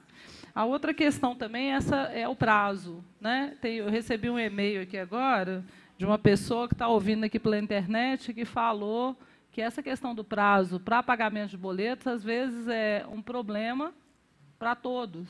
Né? Ou seja, você deixa de estar tá adimplente por causa dos prazos. Isso no serviço público, então, é um tormento. Né? Qualquer lugar que você precise gerar um empenho para poder fazer um pagamento é um tormento. Então, acho que isso também tem que ser considerado. A outra questão aqui, é, que não foi tocada para resolução, e eu não sei onde a gente encaixar isso, é a questão do seguinte: nós estamos falando do, responsável técnico que baixa parcial a obra. Mas e o responsável técnico que assume a obra? Como é que ele assume aquela obra a partir daquele momento? É uma questão a ser considerada também e, e, e, obras de regularização. Por exemplo, uma pessoa tem uma, uma, uma casa é, irregular, geralmente isso acontece na hora do inventário, ela tem que regularizar e tem que averbar a educação na, na matrícula. E ela vai precisar de um responsável técnico para fazer essa regularização perante a prefeitura, perante o INSS, etc. Como ela vai proceder, como o responsável técnico vai proceder? Ele não tem a responsabilidade técnica pela execução. Mas ele vai, pode ter uma, uma responsabilidade técnica parcial, por exemplo, para executar determinado tipo de obra naquela construção para torná-la adequada à legislação municipal que a aprova. Então, essas questões também eu acho que são importantes, que foram colocadas aqui pela, pela internet. É, presidente, eu acho importante esclarecer para evitar assim mal, mal entendido. É, é, Cláudia, eu acho que você traz questões que são muito relevantes e me dá a oportunidade de, de tentar deixar ainda mais claro o que, para mim, parecia ter ficado claro. Mas, enfim, a gente faz mais um pouquinho de esforço de esclarecimento. Na verdade, é, em algum momento do processo de elaboração da resolução, a CEP pretendeu é, inserir dentro da resolução as disposições dos formulários aonde constará uma série de decisões, como, por exemplo, é, a existência ou não do rascunho, a existência ou não de um documento final e a existência ou não do, enfim, RRT, como hoje é considerado. É, e outras questões, como, por exemplo, alguém colocou aqui, a, a, a, retirada, a supressão em definitivo do quadro descrição, que aflige tanto. Não é? Essas questões todas, é, inicialmente nós imaginamos de inserir dentro da resolução. Até para dar, assim, tranquilidade aos colegas de, ao aprovar a resolução, ao mesmo tempo terem uma completa compreensão de quantos, como serão esses formulários. Mas refletimos bastante e nessas tratativas todas, é, compreendemos que se, se assim fizéssemos, a gente daria um certo engessamento aos formulários. Porque se for detectada qualquer necessidade técnica, operacional, utilitária, de ajustar o formulário, teríamos que mudar a resolução, porque ele estaria vinculado à resolução. Por essa razão, nós optamos por propor que o formulário passará a ser definido em uma deliberação plenária posterior. Então, é, fica a, a, a, Comissão de Exercício Profissional no compromisso de trazer esse plenário uma proposta de formulários, onde vai constar os documentos que, estarão, que serão é, é, é, é, incorporados a ele, e eu antecipo que é compromisso nosso ter sim o rascunho, não é? Depois do rascunho, é, disponibilizar o boleto para pagamento, e depois do pagamento, é o, o RRT propriamente dito, que o RRT é o registro feito, concluído. Com relação ao prazo, também é algo que vai ser objeto da deliberação deste plenário que pode inclusive ser modificado se o plenário achar necessidade de ajustar. Atualmente, nós estamos trabalhando com uma proposta de 15 dias. Mas o plenário vai refletir, se entender que é melhor 20 ou 30, o plenário vai ser soberano. Nós não objetamos. Só para pessoas é, só para prefeituras. Enfim, o plenário pode até decidir assim, Haroldo, que para uma pessoa física seja 15, para uma jurídica pública ser 30. Essa é a matéria que eu acho que o plenário, com muita tranquilidade, uma vez compreendido todo o processo macro, que é a resolução, decidir aqui. Isso é muito bom, na minha opinião, porque permite que, se uma deliberação plenária se revelar é, é, com a necessidade de modificar, no momento seguinte faz outra deliberação plenária que não precisa de publicação em diário oficial, que não precisa do rito de uma resolução. Então é assim, a, a CEP, a partir é, da aprovação dessa matéria, começa a trabalhar, juntamente com a equipe técnica do CAL, na montagem desses formulários e vai manter o plenário permanentemente informado, porque é o plenário, através de deliberação dele, que vai definir tudo isso. Prazos, documentos constantes, como será o campo de inscrição, cada coisa que constará do formulário, inclusive o prazo de pagamento do boleto. Com relação à, à questão de, um, de uma baixa, de uma atividade que foi parcialmente resolvida, é, eu, eu, eu acompanho sua preocupação e é o que está na resolução. Quer dizer, é, o arquiteto pode sim dar baixa numa atividade que não foi concluída. O que ele não pode é uma, uma, uma, um expediente jurídico que é baixa parcial. Então, como é que ele faz? Ele converte o RRT, que é de uma atividade completa, num RRT de uma atividade como ela foi feita até onde ela foi feita, através de um retificador que não tem custo nenhum. Com isso, dá baixa naquele RRT da atividade como ela está, e se exime da continuidade, da continuidade dela. Se ele ou outro arquiteto vier a assumir a continuação da atividade, já está registrado no CAL que o arquiteto inicial fez até certo ponto. É responsável pelo que foi feito antes. E o arquiteto que o substituir vai assumir a responsabilidade a partir daí. Então, a nossa preocupação foi justamente não dar uma baixa parcial, porque é uma baixa que, em parte, está é, encerrada e em parte está em aberto, que cria um, uma situação de muita intranquilidade. Então, essa é, é, é, a, é, a, regra. Se você analisar direitinho, naqueles artigos e parágrafos que definem o que é a baixa parcial e os procedimentos para a fase subsequente, você vai ver que a preocupação é justamente essa. Isso constará dos formulários que a gente vai aprovar aqui. Ah, é, é, conselheiro Chico, mas não, não supre a questão da regularização, que a, a autoria pode ser ignorada. Ela pode ser, inclusive, autoconstrução. Ele vai se responsabilizar por um edifício que foi construído numa determinada época e tal, sem RT. E ele vai ter que fazer essa, essa complementação. Ele não executou a obra e ele vai fazer, a, vai assumir a responsabilidade por, por aquele edifício. Isso não está contemplado na nossa resolução. Na outra questão, agora eu queria fazer uma outra defesa aqui, independente disso, daí, é, é que, não... é, só, só fazendo uma defesa, que eu acho o campo descrição ele é um campo importantíssimo. E o que eu acho que está faltando para a comunidade de arquitetos é maior informação sobre como usar esse campo de descrição. Porque, às vezes, o próprio inciso da nossa resolução, não, ele é muito sintético do ponto de vista de explicar o que é atividade técnica.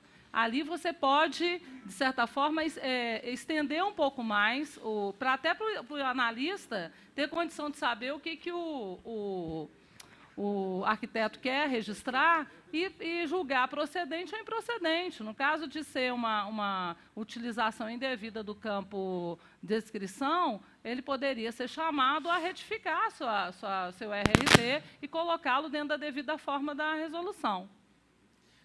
Vou precisar realmente usar mais o tempo para explicar a primeira questão e a segunda. A primeira questão da regularização é, no contexto atual, ela não é matéria da resolução de RRT, mas da resolução 21 de atribuições profissionais. É, como fizemos, não consta daquela lista uma atividade com o nome de regularização. Como não consta, nós estamos utilizando provisoriamente a combinação de levantamento arquitetônico com laudo, laudo de vistoria.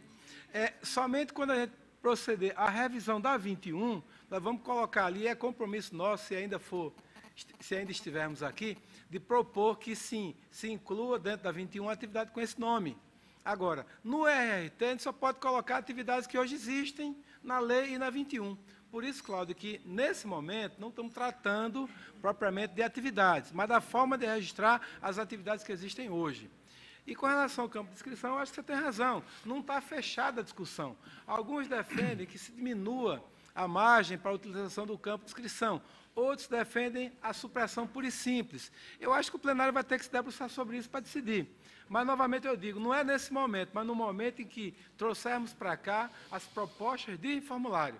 E aí vamos definir como é que esse campo de inscrição, se permanecer, eu realmente acho que não temos ainda condição de suprimi-lo inteiramente, como é que ele vai ser colocado. O Francisco, é, sobre essa, essa questão da regularização, eu queria fazer uma pergunta, e se for o caso, deixar para a sua reflexão e da comissão, com relação à questão de levantada pela colega Cláudia, regularização. É, criar, um, uma, criar essa, essa figura poderá gerar, é, é, sei lá, a utilização para acobertamento, né, como diz aqui o colega Napoleão. Né? Não seria mais adequado, quer dizer, ter uma, é, um artigo um inciso, alguma coisa que explicasse que é, para essas situações específicas de regularização de autoconstrução, do, do que o valha, é, que isso deve ser tratado como uma vistoria né, pelo, por um arquiteto, né, e a assunção por ele né, da condição de regularidade, de possibilidade de uso e tudo é, da obra, é, inclusive após alguma intervenção dele para dar condição de, de, de qualificação da, da, da obra? Eu acho que é uma reflexão muito pertinente, Haroldo. É, por isso que eu digo que, como é uma matéria que transcende o que nós estamos é, definindo aqui, é, no momento em que a gente for é, referir, aí sim, atualmente é o que a gente usa, é a vistoria. Do jeito que está ali, até por não existir uma atividade técnica, um código para atividade técnica chamada regularização, é o que nós utilizamos, porque aí configura que não foi o arquiteto que projetou ou executou aquela obra. Então, ele utiliza uma vistoria onde ele atesta que aquela edificação está apta a ser utilizada, a ser ocupada. Né? Então, essa é a figura que existe.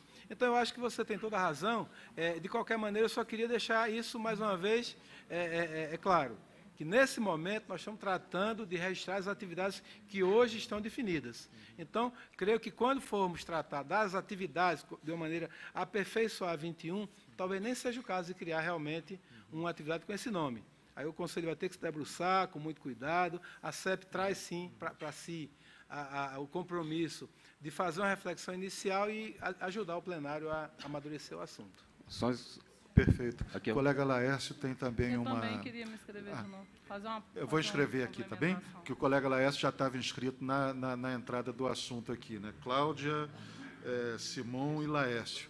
Eu incluo também o colega Gilmar e colega Nacarine e Heitor. É, eu, é, colega Francisco,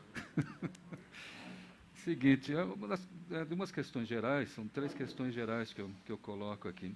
É, uma já, você já respondeu, que é a questão do prazo e a,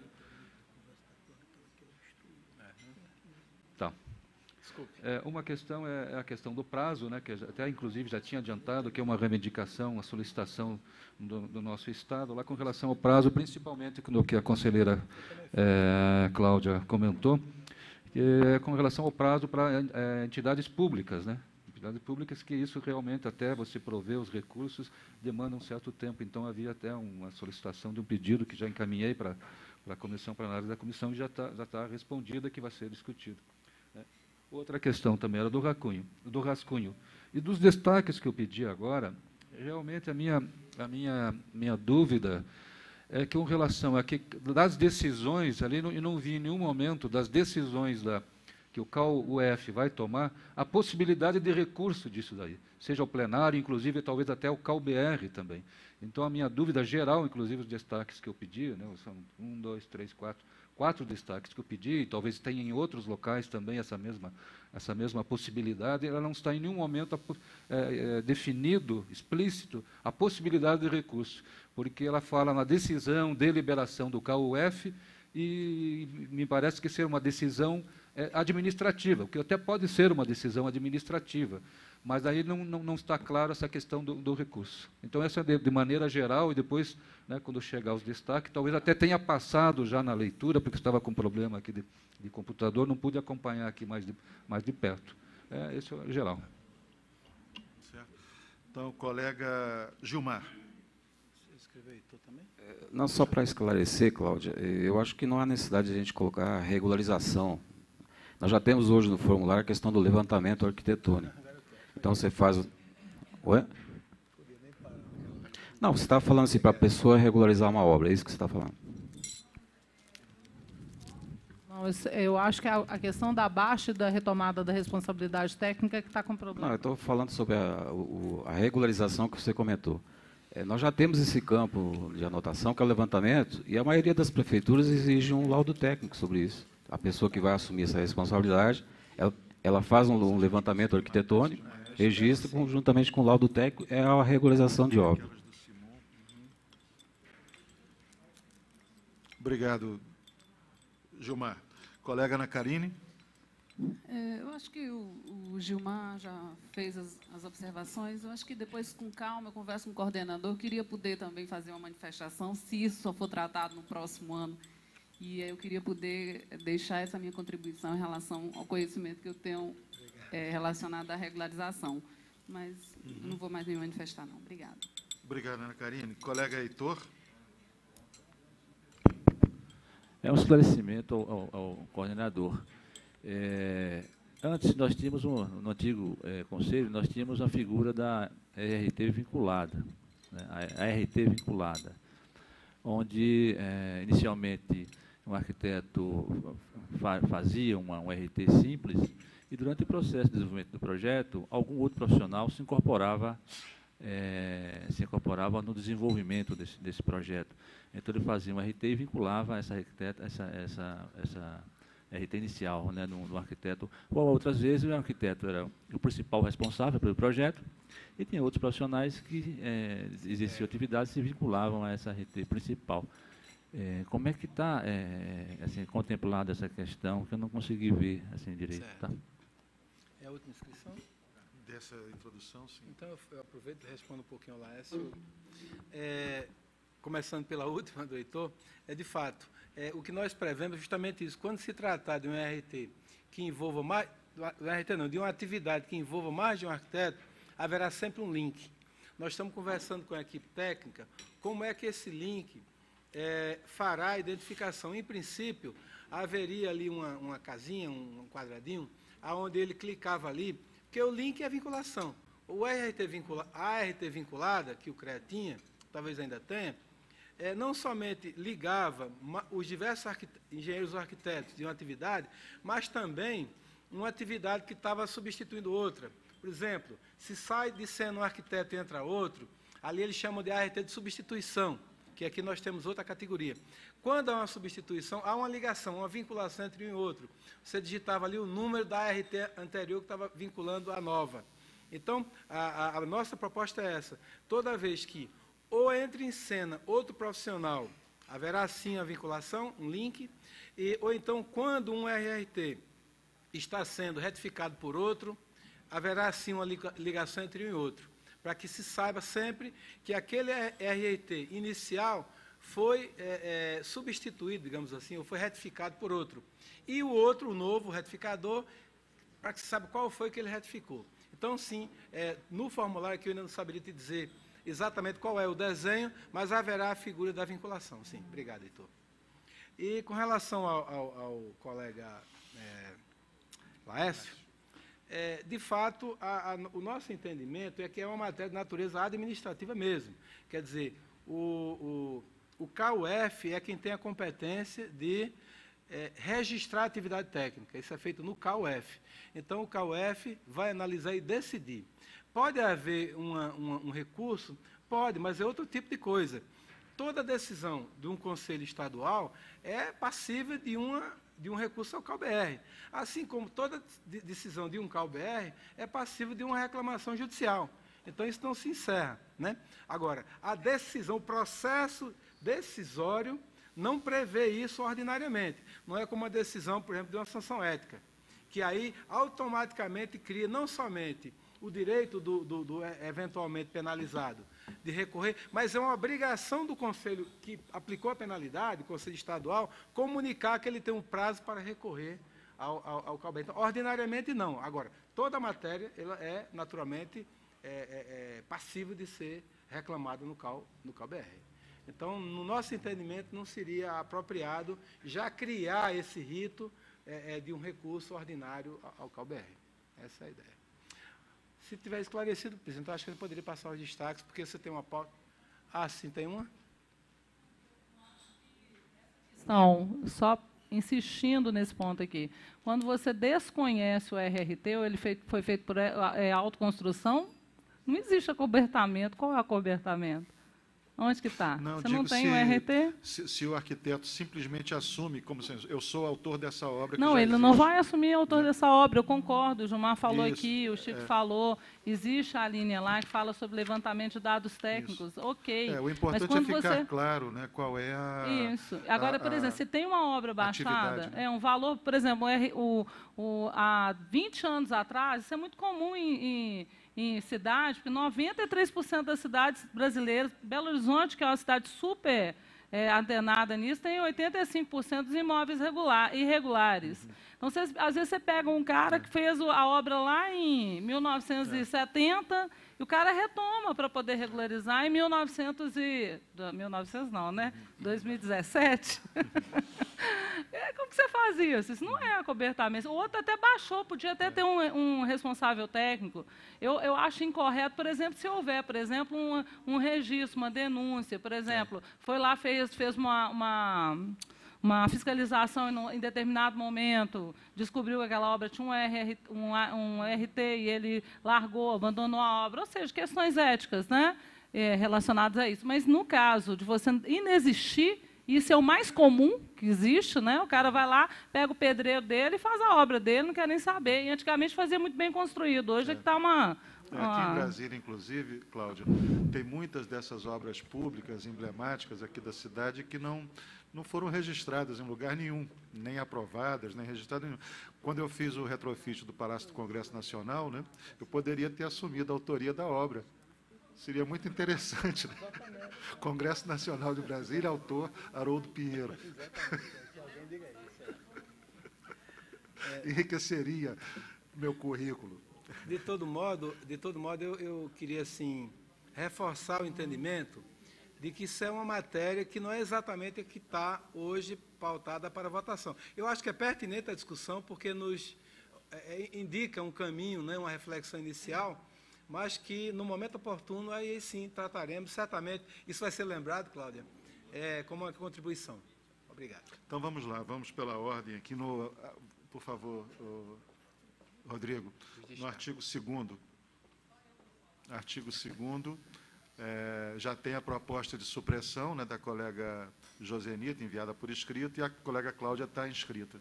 É, eu tinha proposto suprimir esse artigo e a, fazer um aditivo de redação no, no, primeiro parágrafo, talvez em conformidade com a Lei 2.378, né, colocar só isso em cima, né, no caput do artigo 1 e tirar e suprimir o artigo 2 acho que poderia sim. Então, a gente colocaria depois da resolução, vírgula, é, nos termos do que dispõe essa resolução e a Lei 2.378-2010. É. Pode ser assim, Cláudia? É, eu pus em conformidade com a Lei 2.378. Nos termos dessa resolução e em conformidade com a lei. Aí retiro o outro.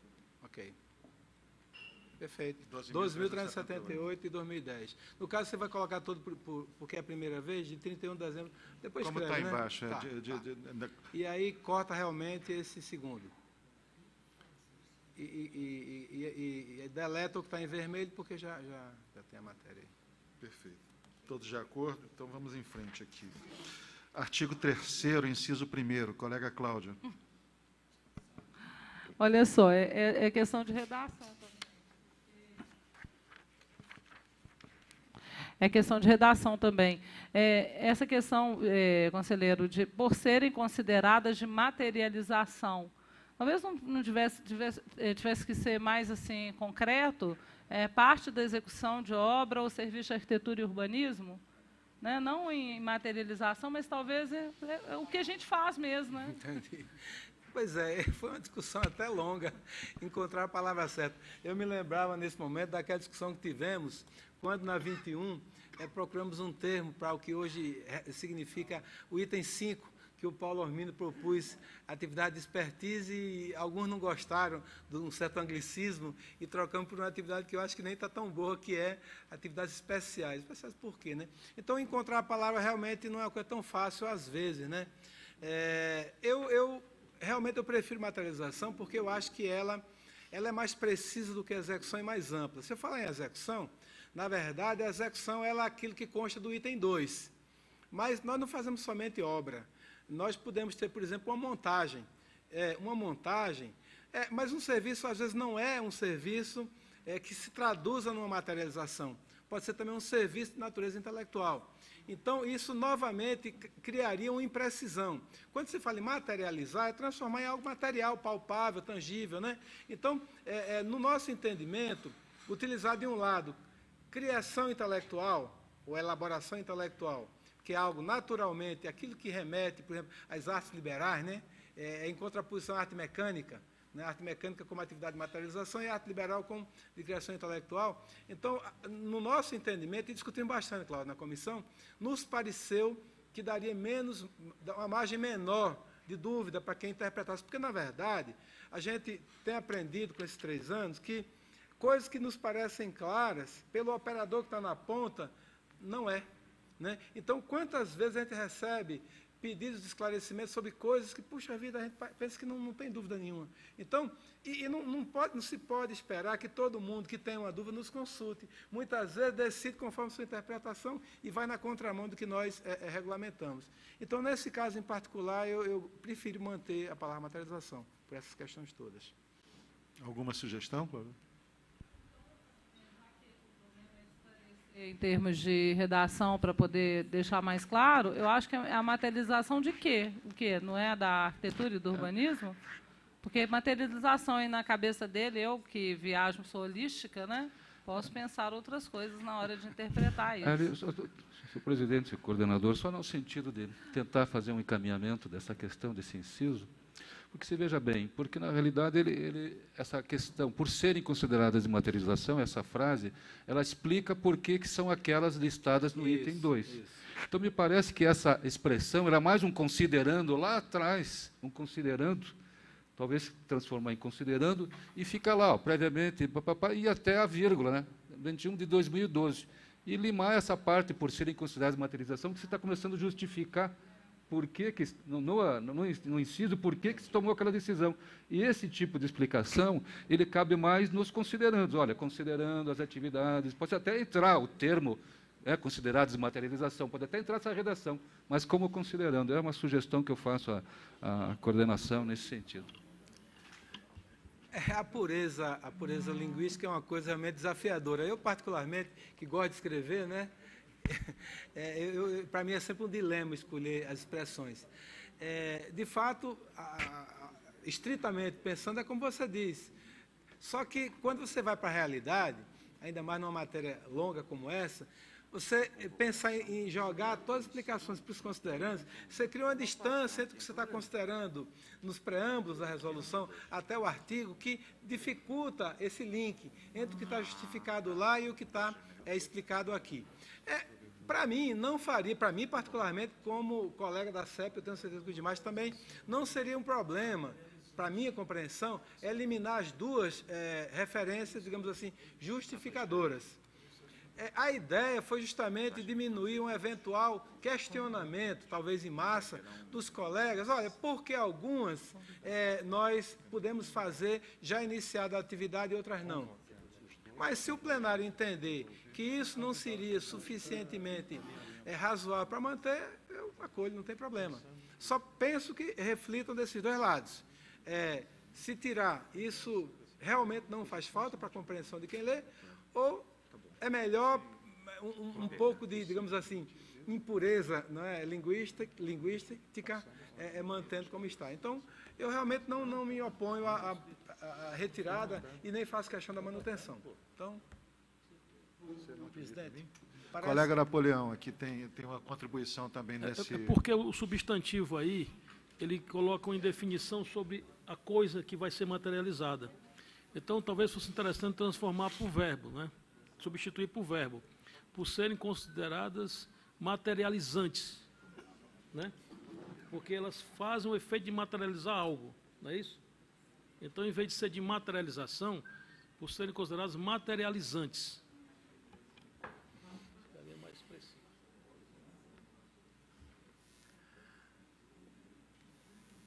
É, na, na, realidade, senhor presidente, eu acho que o coordenador Francisco já deu um encaminhamento e tal, né? Acho que talvez da questão de, dessa, é, de, desses tá dois ficando... incisos talvez se tornarem um considerando uma just, na realidade é quase uma justificativa é.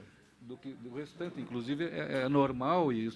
né, e os considerandos são todos relacionados lá e tal. e parece tá que já está resolvida a questão, né, coordenador? Né, colega Chico? Definitivamente sim. Eu, como falei, busquei é, expor as razões, porque depois de muita discussão optamos por inserir no texto, mas os dois colegas que levantaram a questão, que é Cláudio e você, se quiserem encaminhar, depois da explicação que fiz, realmente pela retirada, não me oponho. Essa discussão está ficando já meio sartriana, ou, ou, ou kardecista. Põe retirar, então. Eu proponho Bom, retirar. temos um encaminhamento pela temos dois encaminhamentos, então. Vamos lá, vamos sair desse, desse, desse impasse, né? É, é, por favor, peço atenção dos colegas. O Rodrigo, por favor, é, sublinha ali, não precisa riscar. Não. É, risca, então, por serem consideradas de materialização. Obrigado. Risca, por favor, só para os colegas poderem ver como fica. E risca também, então, por serem consideradas de criação e elaboração intelectual, por decorrência. Né? Teria que, se for para modificar um, modificaria os dois. Né? Né? Porque é, é, apenas uma complementação, como o próprio S diz, é um considerando, né? adicional, porque o, o fundamental está tá dito no, listadas no item 2, listadas nos itens 1, 3, 7. Bom, então, temos dois encaminhamentos, pela supressão desse trecho ou pela manutenção do texto original. Mas não tem, não. Eu, começou a colher. Ah, já colheu? Então pronto, então riscou. É. Pronto, então, então, vamos adiante. É. Já colheu, já colheu. Pronto, vamos, vamos adiante. Vamos adiante, tá bom? Ah, perfeito. Então tá bom. Se perguntarem, vocês explicam por quê. Vamos lá, artigo 6 É, se tiver algum aditivo, então encaminha, tá, Laércio? Artigo 6 colega Cláudia. De redação também, conselheiro. A gente fala de um responsável técnico. No artigo 4 também tem a mesma coisa. E no artigo 6 mesmo também. Eu não pus destaque no outro que eu esqueci. Mas a gente fala em alguns lugares do, do responsável técnico ou dos responsáveis técnicos. Eu não sei se a gente deveria remeter na redação, colocar lá entre parênteses o S, né? Porque, na verdade, você está falando o RRT identifica para todos os efeitos legais responsável ou os responsáveis, e nesse outro embaixo também a mesma coisa. O arquiteto urbanista responsável, a ação de responsabilidade do arquiteto urbanista ou dos arquitetos urbanistas também, porque pode ser mais de um. A gente mesmo está deliberando aí que tem RRTs que são é, né, é, de equipe, né? Então, eu não sei se valeria a pena colocar essa, essa, a redação com essa, esse plural. Bem, é, nós temos sempre, na, na CEP, é, preferido utilizar no singular, porque o singular serve como plural. Quando eu falo o homem, o homem é, é egoísta, se entende que é o homem como gênero, né? como, como, como é, é, indivíduo. Então, ele pode ser considerado um homem ou todos os homens. Né? Então, assim, quando a gente fala no, no, singular, esse singular pode também incorporar mais de um. Já o plural, obrigatoriamente, inclui mais de um. Se por acaso escapou algum, então eu prefiro, onde está no plural, deixar no singular, exceto nos casos em que tem que haver mais de um. Por exemplo, o RTD equipe, só existe uma equipe de mais de um. Então, como esse aí está no singular, Cláudio, eu prefiro manter no singular, e se a gente encontrar outro que contradiga essa minha posição, aí eu me comprometo a, a trazer para o singular. Pode ser assim? Beleza. Então vamos adiante. É, no artigo 9, inciso 3, colega Cláudia.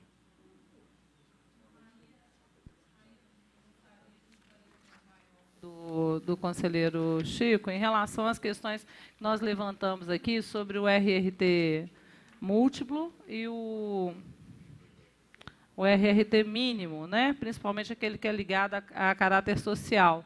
É, existe uma, uma eu queria que ele discorresse a respeito do seguinte: esse múltiplo mensal, ele é, incorporará aí nesse caso as atividades, por exemplo, ligadas a um profissional que está vinculado a uma atividade de é, escritório modelo, por exemplo, ou é, vinculada a uma atividade de pesquisa e extensão universitária, onde ele possa estar fazendo um trabalho comunitário e precisa de uma, um RRT para acervar.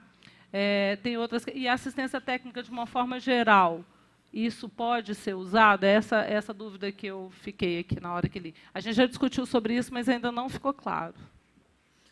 Veja, é, o RRT múltiplo mensal, ele, ele foi concebido é, para é, atender atividades que, em princípio, né, são tidas como de curto tempo de realização e, por consequência disso, que resultem em honorários é, profissionais baixos. É, então, de modo a evitar um peso muito grande sobre o arquiteto, recolhendo uma taxa para cada atividade dessa, desse tipo, se permitiria, então, ao longo de um mês, ele é, registrar todas que ele fez daquela natureza. Então, a intenção é essa. O RRT múltiplo mensal, ele se vincula à atividade, não necessariamente é, forma de a forma ao vínculo de emprego, a relação contratual que ele tem, que ele vem a ter com, o determinado, com a determinada instituição. Então, se ele estiver ligado a uma instituição universitária, para realizar, naquele vínculo contratual com ele, diversas atividades técnicas ao longo de um mês, que se integrem nessas que são passíveis de mutuação, ele poderá fazê-lo. Seja um escritório modelo, seja como é, é, empregado de uma prefeitura. Ah, o importante é que a atividade técnica se enquadre nestas.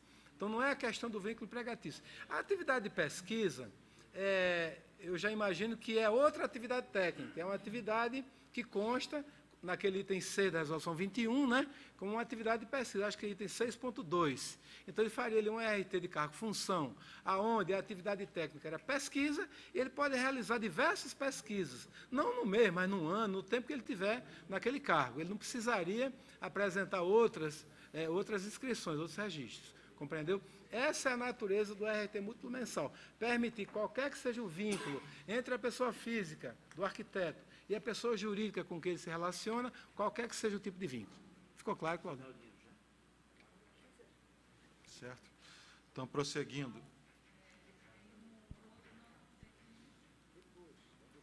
Não deu para ouvir, Cláudia. Não está dando para ouvir. Não, eu desligo para não ficar aberta, né? Mas é porque no próximo agora eu fiz um destaque também justamente na questão do, RT, R, do RRT mínimo. É o próximo destaque. Tá a gente discutiu isso, eu retiro. É, as... é, junto, é junto. Não, é multi, na verdade é o inciso 3. 2 e 3. Né, é. O 2 e 3. 2 e 3. E no 3 aí, essa questão do RRT é, mínimo, com edificação ou conjunto de edificações destinadas ao uso residencial que se enquadrem na Lei 11.124, 16 de junho de 2005, ou na Lei 11.888, de 24 de dezembro de 2008, é, inclusive em diferentes endereços? Veja, é, a intenção foi contemplar algo além de uma unidade habitacional de pequeno porte. Né? Então, é, me lembro que você própria, quando tratamos disso lá, lá atrás, você apresentou a preocupação com essas eh, edificações que estão previstas dentro da lei né, de, de, de, de eh, habitação de interesse social. Então, nesse sentido, você pode fazer uma unidade ou um conjunto de unidades dentro do mesmo endereço. Mas o que é o mesmo endereço? É isso que a gente está definindo e, e, e, vai detalhar mais ainda no formulário. Se eu tiver um, um, um agrupamento de unidades dentro da mesma gleba, dentro do mesmo é, da minha porção urbanística, ali nós consideramos o endereço. Então, eu posso fazer 200 unidades habitacionais dentro do mesmo conjunto, dentro do mesmo condomínio, que vamos considerar um endereço, portanto, pode ser feito o RT mínimo. No caso do RT mínimo, ainda tem um benefício adicional em relação ao mútuo mensal, porque eu permito mais de uma atividade. Enquanto o mútuo mensal só permite uma atividade no mês, no mínimo eu posso todas as atividades do grupo 1, que é projeto, e todas as atividades do grupo 2, que é execução. O que eu não posso fazer dentro da mesma, do mesmo registro, mesma taxa, é pegar aqui, na zona norte de uma cidade, fazer um projeto dentro desse programa de múltiplas unidades habitacionais e outro na zona sul e fazer os dois com a mesma registro e a mesma taxa. Isso aí não está previsto. A ideia é contemplar, você até fazer uma, duas, cinquenta, duzentas, naquela localidade. E aí sim, uma única taxa. Que já é um grande benefício. Né? É, é, é, Chico, em alguns locais, a edificação feita no mesmo grupamento não será considerado o mesmo endereço. Aí você pode ter um problema, porque você, você vai um ter caso? que fazer uma, um RRT para cada um, mínimo. Você tem um caso que você poderia citar? É, tem, nós, isso aqui, nós... eu, eu, inclusive, chequei isso com a nossa com a gerência técnica do CICAL. Nesse caso, eu perguntei. Então, se tiver, por exemplo, distinção de endereço, você vai dever, para fins de assistência técnica, um RRT mínimo para cada um dos, da, dos endereços. Então, aí acaba que você inviabiliza uma atividade para um conjunto, porque cada um tem um endereço diferente. É. Veja. Então, acho que talvez a gente pudesse é, pensar nisso, de forma que você pudesse é, é, é, contemplar nessa questão um, um, um conjunto de, de, unidades habitacionais e, ao mesmo tempo, também conjunto de unidades com endereços diversos, desde que fosse configurada uma ação que enquadra aqui na Lei 11.888, né? é uma, é uma, é uma especificidade aqui. Né? Eu, eu fazia uma defesa, inclusive, que o RRT para assistência técnica, até para incentivar, dentro daquilo que foi colocado pela Comissão de Prática Política Profissional, que ela fosse um RRT, é, a gente não pode fazer isso, eu sei, mas que ele fosse um RRT subsidiado, por exemplo até para incentivar que você tenha cada vez mais a, a assistência técnica sendo efetivada, né? Como a gente não pode fazer isso, é, eu te permito. Eu vou só tentar ajudar aqui, pegar uma não, parte. Só um instantinho, então, Anderson, que tem dois que pediram para ajudar antes aqui. Então, vamos fazer o seguinte, eu tinha até sugerido aqui ao Francisco para ouvi-los primeiro, então ficam três. O colega Fernando Costa, na sequência o colega Napoleão, e em seguida o colega Anderson. Se for a mesma coisa, aí. Colega Fernando.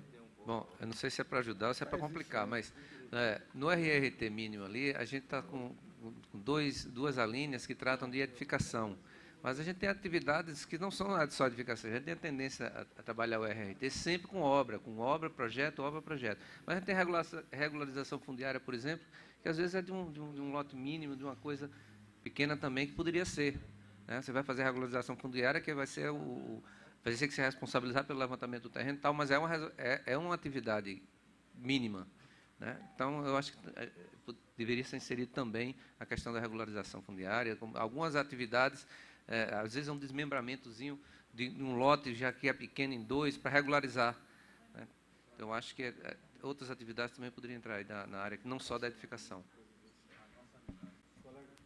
Colega Napoleão.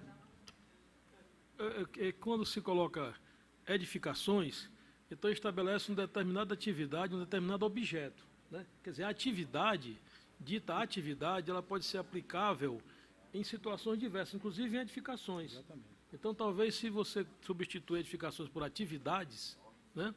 agora, acabou o tempo? Não. Em relação, agora, em relação a essa questão que a Cláudia colocou de informação, primeiro, é, tem que ficar claro que essa resolução vai para o CAU UF e no CAU UF ela tem que ser interpretada e aplicada não é? pelo Conselho do Estado. Inclusive, as questões de dúvida em relação à aplicabilidade têm que ser dirimidas pela Comissão do Estado. Não é? Eu digo isso por quê? Porque, coincidentemente, aconteceu um caso que eu presenciei em Fortaleza, no CAU Ceará, em que dois assessores técnicos não é, da fiscalização estavam em dúvida em relação a um conjunto desse tipo que a Cláudia citou aqui. Um conjunto de edificações projetadas numa mesma atividade. E aí o que, que eles fizeram? Ao invés de consultar o presidente, né, ou então aos conselheiros da comissão, eles telefonaram para os assessores do CICAL. Né? E o pessoal do CICAL, segundo eles, de, de, o pessoal de, disse né, é, para eles que, no caso, para cada unidade seria um RT. E a pergunta foi, se forem mil, serão mil RTs.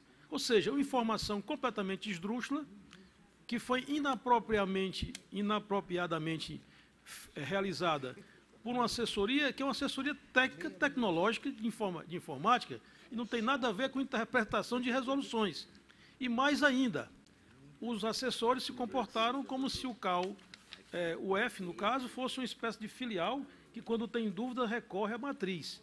Então, eu aproveitei a oportunidade e o presidente Luciano também, é, coincidentemente, apareceu na, na, na discussão e o presidente explicou a situação da maneira como eu tinha interpretado também, que é a maneira lógica da resolução, e esses assessores, que foram até meus alunos de arquitetura, é, são agora formados e concursados, eles agora sabem que, quando tiver esse tipo de dúvida, tem que recorrer à comissão do Estado. Né? É evidente que se é um conjunto, mas é uma atividade só, pode ser mil, mil unidades habitacionais, né? mas é, um mesmo, é uma mesma atividade. Eu tenho aqui uma zona de interesse social, prevista na, na lei do plano diretor. Nessa zona existe uma so, so, situação de, de, digamos, de favela. Né? Se você faz um projeto de reurbanização daquilo tudo, é claro que isso é uma única atividade. Né? É uma única atividade, é um único endereço, né? e o endereço não é exatamente o, o código de endereçamento postal do correio, que às vezes nem tem. Então, eu acho que isso é uma questão de interpretação, né? É, e, e, a responsabilidade de interpretar a resolução cabe sim ao Conselho em cada Estado. Né? Então, eu acho que é nesse sentido que eu acho que a gente tem que tratar as nossas resoluções. Né? Colega Anderson.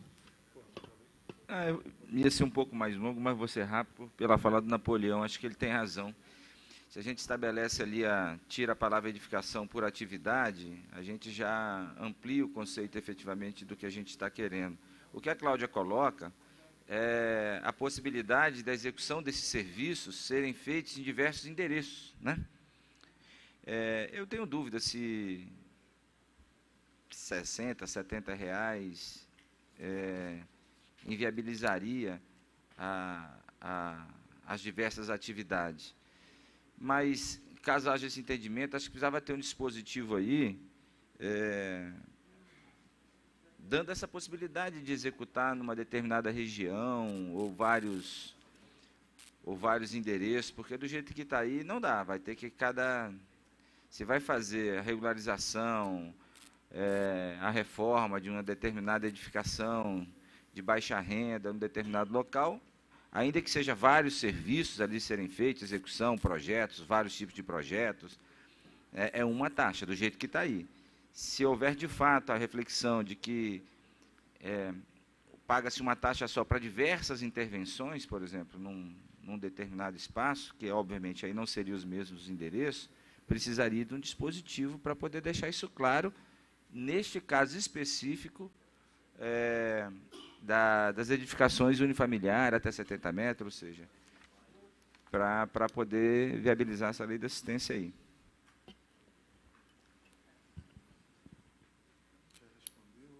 pediu, né? deixa ela falar, depois eu respondo. Cláudia. É, a nossa resolução 5, ela fala sobre as funcionalidades do CICAL. A gente está trabalhando, é, tudo que a gente aprova em termos de plenária, de resolução, ela tem que passar, até porque essa resolução só vai em março para para a rua por causa disso. Né? Ela tem que ser adaptada às funcionalidades do nosso sistema. Independente disso também, a resolução 17, artigo 5 fala a respeito de que há o devido, o RRT devido, por endereço. Então, ela fala, então não pode, você não vai poder fazer nunca. Isso se você não, não aumentar. No caso excepcional de assistência técnica, a gente não vai poder, é, por exemplo, estender esse, esse esse benefício se houver mais de um endereço no local. E pode haver isso. A outra questão que eu gostaria de ponderar com o conselheiro Napoleão, que eu acho que vai de encontro a tudo que a gente discute aqui no CAL, é que esse, esse plenário aqui, que constitui as resoluções, ele é que tem poder decisório de regulamentar toda e qualquer ação é, do CAL em nível é, federal e os estados eles não, não têm competência de analisar e ter juízo de valor em separado por cada um dos atos administrativos que foram aprovados em resoluções do CalBR. Não compete a eles fazer isso, nem as comissões lá. Então, eu entendo que há aí uma, um conflito aí de, de, de competências. Então, acho que a gente deveria, sim, é, ponderar sobre essa questão do RRT mínimo, né? E se ele, na verdade, é, é uma, uma questão, ele, ele, ele surge para poder é, incentivar a ação de, regularizar, de assistência técnica. Até concordo com o conselheiro Fernando, teria que expandir para os limites, para outros limites que a própria Lei 11.888 fala. Né? Ela não fala só da edificação, ela fala do projeto de urbanismo de uma forma geral e etc. Ela deveria contemplar essas questões. Eu acho que merece um aprimoramento dessa redação aí. Obrigado, Cláudio. Eu vou devolver a palavra aqui ao relator, que anotou e tem proposta. É, de tudo que eu vi, na verdade, muito disso já tinha, eh, por uma via ou outra, nos chegado. Eh, eu queria deixar claro que a intenção da proposta é permitir eh, uma adequada aplicação de sua, de sua da ideia macro, ou seja, estimular que determinadas atividades de menor nível de remuneração possam ser beneficiadas por cobranças menores. Naturalmente que isso tem limites, né? não podemos cair também numa permissividade tal que é, é, leve é, é a, a, cobrança do valor do, do, do, RRT a algo assim absolutamente inexpressivo, até porque isso também tem a ver com a sustentabilidade do sistema.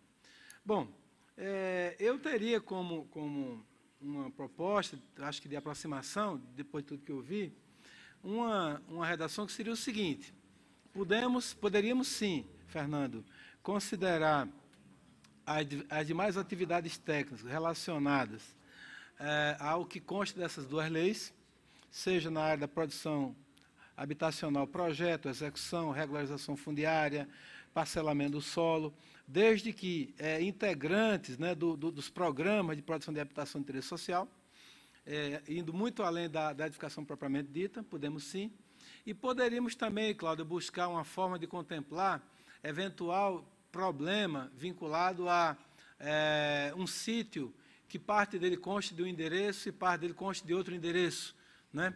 É, nesse sentido, eu acho que é possível sim. O que não acho possível é uma tal disposição que permita a alguém se, se utilizar desse, dessa determinação para, em sítios inteiramente distintos, todos eles enquadrar dentro da mesma regra. Nesse sentido, eu teria assim uma redação que talvez atenda. Eu peço a Rodrigo que copie e cola embaixo para a gente comparar. É, seria o, o, o, é, a linha B. Somente a linha B você coloca ali mesmo. É. Copia a linha B e cola embaixo.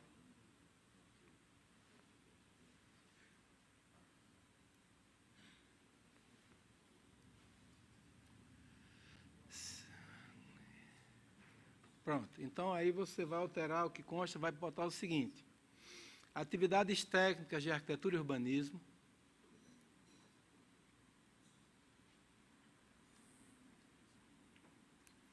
Vinculadas à produção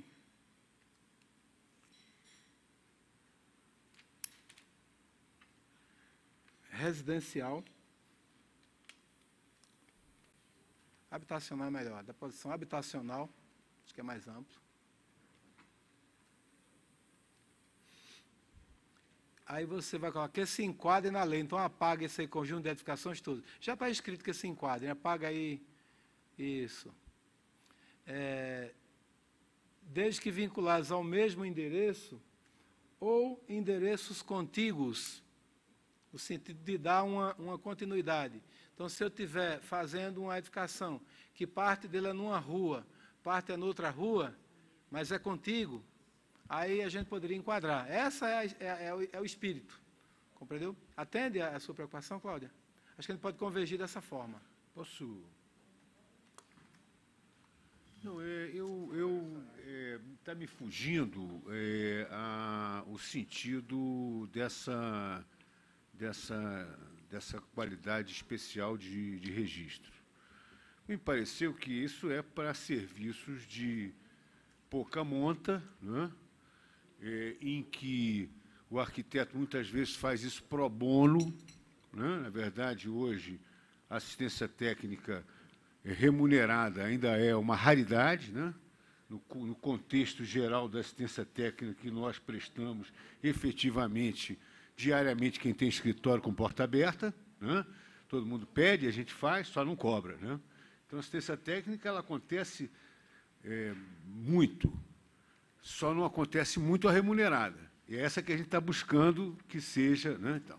Mas a atividade de projeto de habitação de interesse social, essa é já uma atividade que nós, a nossa luta, a nossa militância e o nosso é, acontece em muitos, nós já estamos sendo contratados por Secretaria de Habitação, por FINIS, etc. E aí, nesse caso, a remuneração é uma remuneração quase que muitas vezes pela tabela de honorário do IAB. É? E aí a minha pergunta é o seguinte: é, o que nós estamos tratando aqui é, é esses casos, pro bono, 11, 11888, né, tal. Não é exatamente qualquer, todo e qualquer projeto habitacional. Eu conheço alguns projetos, eu mesmo fiz alguns, que foram muito bem pagos, de habitação popular, até de urbanização de favela e tudo. Né?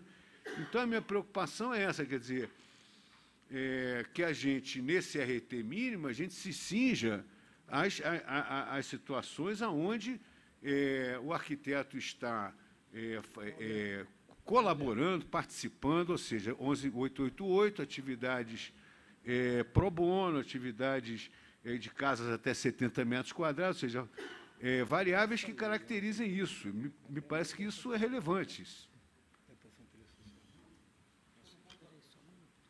A ideia é essa mesmo, Sade. Por isso que consta ali no, no, na segunda parte do, do, do, da frase é, que esses programas têm que estar vinculados às leis que tratam de habitação de interesse social. Então, não seria qualquer programa, mas os programas é, enquadráveis né, na Lei 11.124 e na Lei 11.888, né, de tal modo que é, atendesse o que é a nossa preocupação e agora reforçada com a tua. Bom, está bem assim? Tem acordo, então?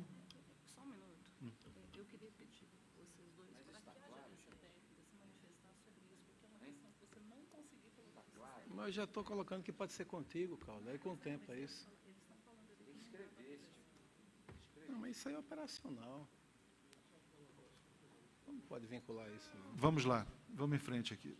Não, mas já tem acordo aqui. Não tem acordo, vamos, vamos fazer assim. O colega Napoleão quer fazer um comentário aqui. É porque o que o, Paulo citou e tratou, eu acho que não, não chegamos assim a, um, a, um, a uma definição. Diz respeito ao contratante, né? Quer dizer, se o contratante é um ente público, se o contratante é uma empresa, numa, um projeto Minha Casa Minha Vida, logicamente que não se enquadraria, mesmo que abarcasse a, a, a lei em si, a atividade, mas a maneira da remuneração é diferente. Quer dizer, então, é, eu creio que essa, essa proposta ela está vinculada à, à, à contratação de, através de entidades, de entidades populares, né? É, ou a autoconstrução de grupo, agrupamentos assim, de mutirão, coisa do gênero. Quer dizer, que, que o contratante é exatamente é, uma população que necessita desses serviços, né? Quer dizer, sem a mediação do poder público, sem a mediação de outras coisas. Então, acho que a questão diz respeito ao contratante, não é isso? Então, isso não está explícito em relação, quer dizer, ao que está aí, a questão do contratante. Quem é o contratante, né? Eu discordo da, da, opinião do Paulo Saad, desculpa, Paulo Saad, que a atividade de produção habitacional de interesse social é uma atividade bem remunerada, você me perdoe, vai demorar muito para que ela seja. Até porque nós estamos fazendo, executando sem fiscalização do CAL, ao projetinho padrão, geralmente a casinha de dois quartos, e o Hzinho maravilhoso BNH. Olha, Cláudia, eu não falei que a atividade ela é bem remunerada. Eu disse que ela pode vir a ser bem remunerada. Pode. Não, não. E, não, e mesmo hoje existem alguns contratos que são contratos que são bem remunerados, eu só não sei, mas são pagos pela tabela. Então, sim, eu estou lhe dizendo que eu conheço muitos. Agora, por acaso, trabalho nisso há 40 anos. A questão é que, concretamente, é, eu acho que tem que se colocar Agora mesmo, eu sou do Conselho do Finis do município do Rio de Janeiro e tenho, e tenho, e tenho é, percebido contratos feitos pela tabela para construção de edificações financiadas pela Caixa, né, para atender, pelo FINIS, né, pelo Fundo de Habitação. O que eu quero dizer é que é, sim, a grande maioria dos projetos, sim, precisa ter um tratamento especial. Mas como caracterizá-los para que a gente não fique dando carne a gato? Certo? A verdade é essa. Não nos interessa descaracterizar essa, essa, essa, nossa, essa nossa iniciativa, que é uma iniciativa é, de reconhecimento né, de, do trabalho é, é, é, muitas vezes até abnegado de muitos colegas que trabalham nessa área. Este é o reconhecimento que a gente precisa e quer ter. E é isso que a gente quer ter. Não necessariamente é, concursos de.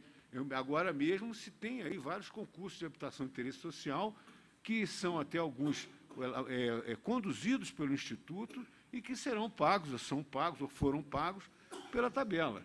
Então, o que, o que eu quero dizer é que o nosso objetivo é, é esse, é. é, é, beneficiar aqueles que, de fato, estão, é, é, os que precisam de um lado e os arquitetos que tentam os atender do outro.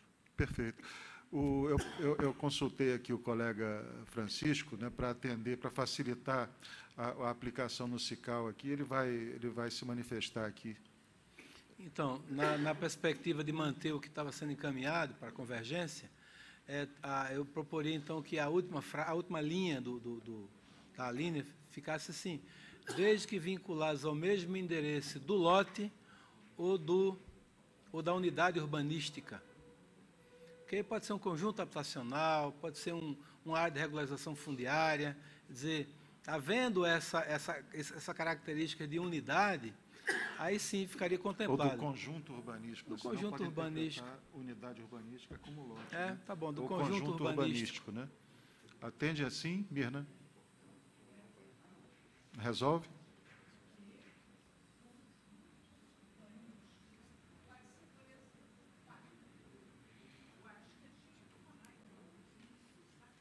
Conjunto habitacional. Conjunto habitacional. Seja, conjunto habitacional. Do lote ao conjunto habitacional. Tá eu acho que assim a gente converge, não é? Perfeito. Acho que sim, né, Cláudia? Então vamos em frente, então, né? Fica então a segunda redação, Rodrigo. Você corta a primeira. É, pode cortar a primeira lá. Fernando, contempla a Josanita aí, tá? Na, no parágrafo primeiro, logo a seguir, alíneas A e B, colega Cláudia. Parágrafo primeiro, a seguir, alíneas A e B. Não, aí é só, na verdade, a gente teria ação também. Não é CONFEA, é CREA, os conselhos e o, o, o, próprio Conselho Regional, a gente não teria, teria que fazer isso. Você colocou ali na ECREA só. Onde é que tem na verdade, seria CONFEA, não, CREA. Não, não, não. Olha lá. Conselhos, ah, então, conselhos de então, engenharia, arquitetura. É que esse não estava anotado, Cláudia. Não é, no, no inciso, inciso quarto. quarto é? é, quarto. Você Cláudia. queria que colocasse como? Os conselhos, né, na verdade, é conselhos de engenharia e arquitetura, coisas que fazem parte do CONFEA, CREA, não é isso? Então, o que ocorre é que o registro da atividade pela delegação de competências é o CREA. Os profissionais são registrados nos CREA, assim como são no CAUF, ainda que o registro é nacional. Né? Então, no CREA também, não é, eles não são registrados no CONFEA, nem no sistema CONFEA-CREA, mas nos CREA. Tudo bem? Tudo bem, Cláudia?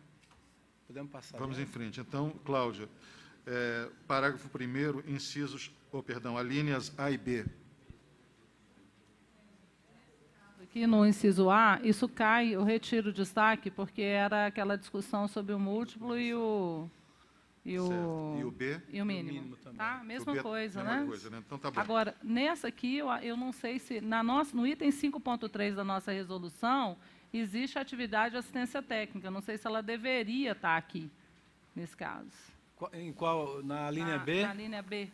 Então, na linha B, aí constam das atividades que estão na 21. O que é que nós verificamos? Pegamos a lista de atividades da 21, que, na verdade, vem da própria lei que regula a especialidade de engenharia e arquitetura de segurança do trabalho, que consta da 21, e destas da 21, aquilo que nos pareceu razoável colocar como RRT mútuo mensal. Então não houve nenhuma criação aí, apenas pensamos dali o que a gente considera que pode ser beneficiado e o que não está aí é o que não consegue ser beneficiado. Entendeu? Não houve nenhuma criação aí. Obrigado. Obrigado, Cláudio. Bom, no artigo 10 parágrafo 1 eu queria é, fazer uma consideração aqui para deixar a reflexão aqui também da Comissão de Exercício Profissional. É, para fins dispostos no caput, o documento de arrecadação bancária destinado ao pagamento da taxa de RRT terá como sacado o arquiteto urbanista ou a pessoa jurídica da arquitetura e urbanismo contratada, aí eu chamo a atenção, ou a pessoa jurídica contratante. Peço que sublinhe isso daí. Veja, recentemente nós é, fizemos alguns ajustes, é, naturalmente que não contradizem a, as resoluções em vigor nem a lei, é, e nós excluímos essa possibilidade porque, primeiro, né, a lei determina que o RRT é responsabilidade do arquiteto. Então, o boleto deveria sair em nome do arquiteto responsável, mesmo que ele entregue para outra pessoa pagar, mas a responsabilidade é dele. Se não for pago, ele vai ser cobrado. Né? Isso porque tem acontecido muito do arquiteto, vinha acontecendo muito, né, do arquiteto tirar o boleto em nome do seu cliente, entrega para o cliente, o cliente não paga e a atividade se desenvolve. Se é descoberto mais adiante pela fiscalização, o, o, arquiteto fala assim, não, mas a responsabilidade não é minha, eu fiz o RRT, mas entreguei para o cliente. Quer dizer, mas se o RRT não é RRT enquanto não for pago, ele não tinha feito. Então, gerou essa discussão e essa, é, esse foi um dos problemas graves, que envolve até questões éticas e dá, começa a ter desdobramentos os mais é, diversos. Né? Então, eu, a sugestão, pela experiência e pelo, pelos problemas que isso já tem causado, e não são centenas, são, são muitos mesmo, né? muitos, muitos, muitos, eu sugiro, pela experiência, pelo que nós já vivemos, inclusive agora recentemente, né, é, é, deveria excluir essa, esse trecho sublinhado e deixar a responsabilidade, como a lei determina, para o arquiteto. Aí a, a, a reflexão da, da, da comissão. Colega Tibiriçá?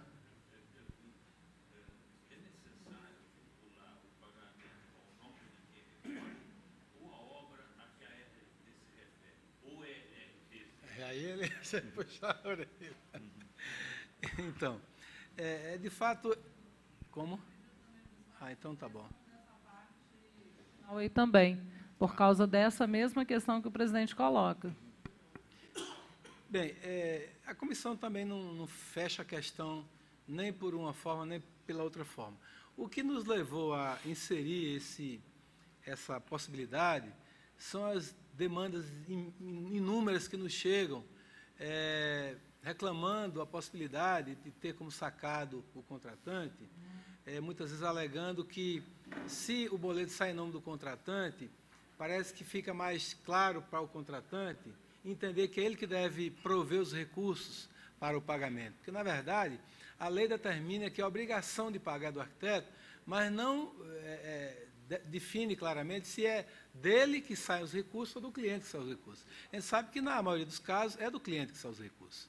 Então, muitas é, mensagens que nos chegaram reclamando é, que se permita ao arquiteto é, ter o boleto como sacado o cliente, é para destacar para o cliente a sua responsabilidade de pagar.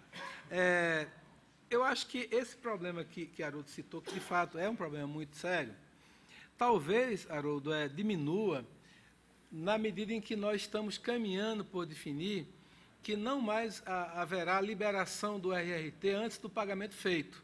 Então, quando o arquiteto preenche o formulário no CICAL, ele imprime um rascunho e o boleto. Somente depois de pago o boleto, então o, o sistema disponibiliza o RRT. Ele não teria, então, como fazer uso de um RRT já que está ali grafado o nome rascunho, enquanto não for pago. Nesse sentido, talvez é, a gente atenda ao que muitos estão reclamando, que é poder sair em nome do, do, do contratante, sim, sem ter esse mesmo problema que temos hoje. Mas, enfim, o, é, é, o que nos levou a, a, a, propor dessa forma. É o plenário que certo. pode decidir então, sem problema nenhum. É, antes de passar a palavra aqui para a Cláudia, eu queria fazer então uma consideração adicional. Né? Além do que eu já falei, e inclusive de problemas éticos aí, né? de, de é, que, gerados aí por, essas, por isso, quando nós permitíamos que, que fizesse assim, é, é a, a exclusão do que eu considerava um avanço né, do, do, do arquiteto poder é, emitir o RRT, fazer o pagamento, anexar o boleto e demonstrar que o RRT já é válido, o que é necessário às vezes em questões de urgência e tudo, vai criar um outro problema também. É o caso de prefeituras, por isso, como já foi dito aqui, que muitas vezes demoram um mês, 15 dias, 20 dias para fazer o pagamento. Então, todo esse ah. tempo é, é, é, o serviço vai ficar impedido de, de, de ser iniciado legalmente. Né? É, é, se suprimirmos né, a possibilidade de, como qualquer outro documento de cobrança pública, aí, né, esses é, GRPs, essas coisas aí, que você simplesmente grampeia junto. Né? O, o, o colega Anderson, infelizmente, não está aqui, mas a gente discutiu bastante isso como uma questão administrativa, né? se você grampeia a, a, o, a, o comprovante de pagamento, o documento é válido. Ele é válido. Se você espera, porque, veja só, o arquiteto fica submetido ao processo bancário, que normalmente são pelo menos 24 horas, né, para liberar o RRT, e também, a, como é que chama, Mirna? É baixa do... Mirna? Mirna? Mirna como é que chama mesmo aquele arquivo retorno, baixa de arquivo retorno, né? que às vezes leva um, dois, até três dias no CAL estadual. Então vejam que até chegar a informação para o arquiteto receber o RRT, ele depende do banco e da boa atividade do CAL estadual, na questão do arquivo retorno. Ele comprova que já pagou e não tem o RRT ainda. Por isso que nós criamos essa situação é, é, é, e que vem grafado em vermelho grande em cima, né? válido somente com a apresentação do, do, do, do boleto pago. Né? Aí, quando ele vai tirar a segunda via, ou se ele tira dias depois, aí sim, já vem lá, não precisa de boleto nenhum, já independe do boleto. Né? Então, veja que isso desdobra em outro assunto também. Né?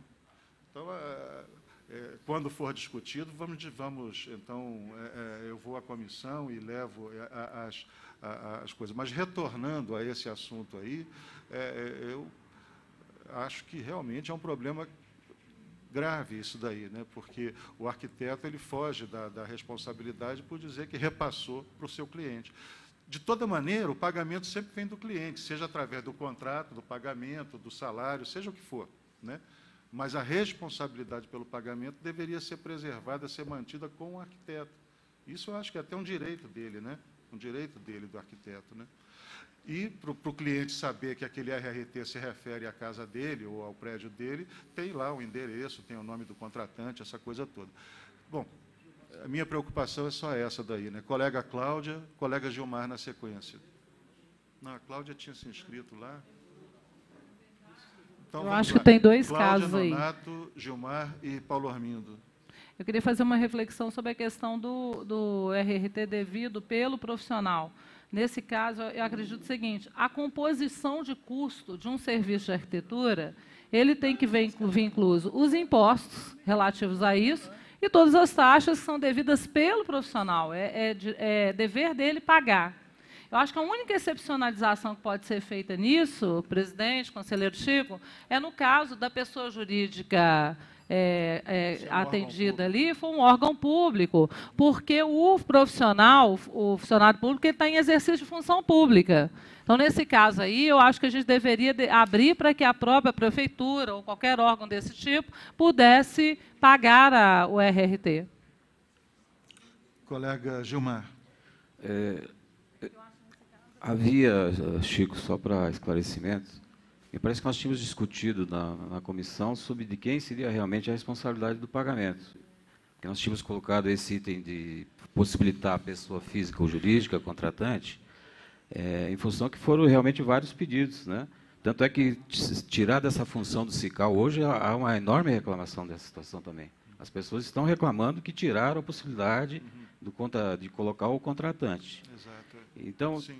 tinha claro, é, não estou vendo aqui, me parece que nós tínhamos esclarecido essa questão é. dentro da comissão. Nós esclarecemos, viu, Gilmar, se me permite, nós esclarecemos pela internet, né, alguns colegas que levantaram, muitos colegas que levantaram essa reclamação, muitos, né, nós esclarecemos do risco que, que o arquiteto fica submetido de, de receber uma multa de 300% se o seu cliente não paga.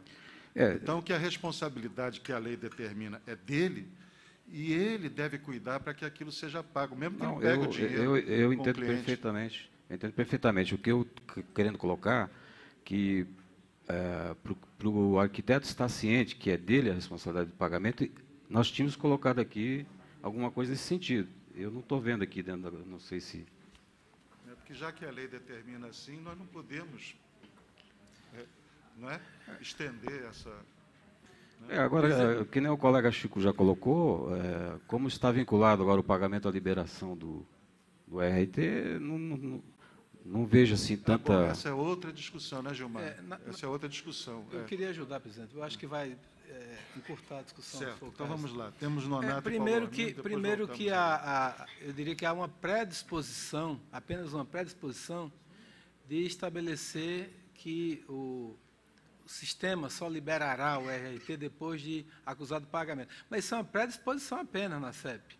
Como eu disse, o processo decisório sobre esse assunto vai se dar a posteriori uhum. em negociação com a área técnica do CAL e, sem dúvida nenhuma, que é o plenário que vai decidir. Uhum. Eu acho que a gente poderia, eh, assim, evitar, nesse momento, tal discussão. Agora, eu teria aqui uma proposta que talvez contemple, e aí a gente consiga, assim, encurtar a discussão, que seria o seguinte. Aí eu vou pedir que o Rodrigo, de novo, é, o parágrafo primeiro, copie e cole, para a gente fazer uma, uma alteração que talvez, é, desculpe, Nonato, mas vá na direção de de ajustar. Você faria assim, para fim do disposto no CAPT, o documento de arrecadação bancária, deixando o pagamento da taxa de terá como sacado dois pontos. Dá um Enter. Inciso 1. O, inciso 1. O arquiteto e urbanista, ou a pessoa, não, o arquiteto e urbanista ou o contratante eu vou, eu vou só para terminar, Fernando. Ou o contratante, é, se, vírgula, se pessoa jurídica de direito público. Uhum. É, é Ponto e vírgula. Dois. O arquiteto e urbanista ou a pessoa jurídica de arquitetura e urbanismo nos demais casos. Pode ser?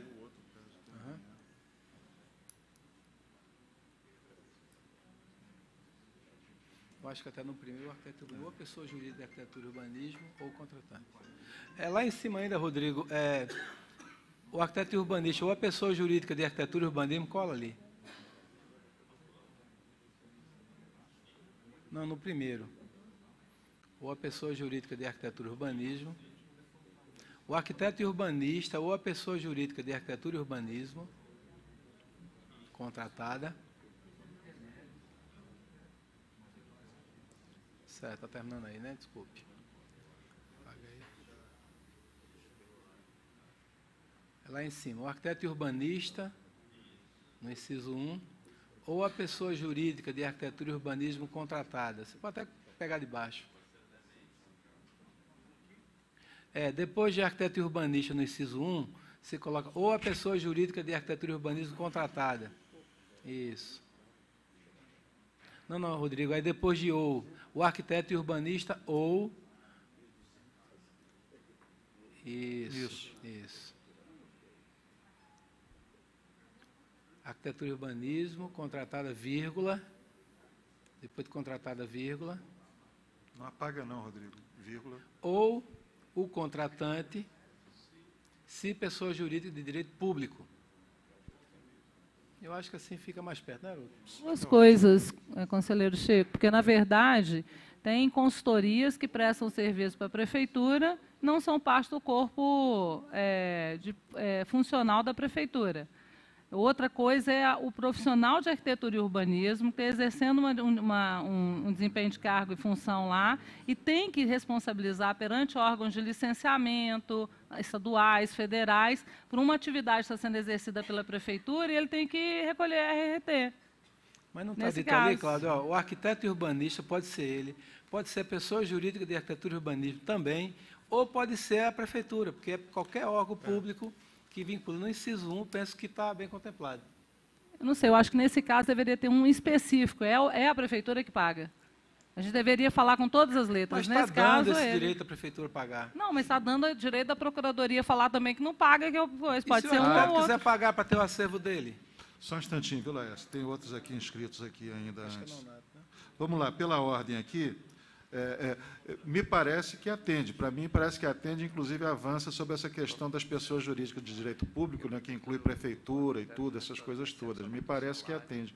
É, colega Nonato, na sequência, colega Paulo Ormindo, Fernando Costa e Laércio.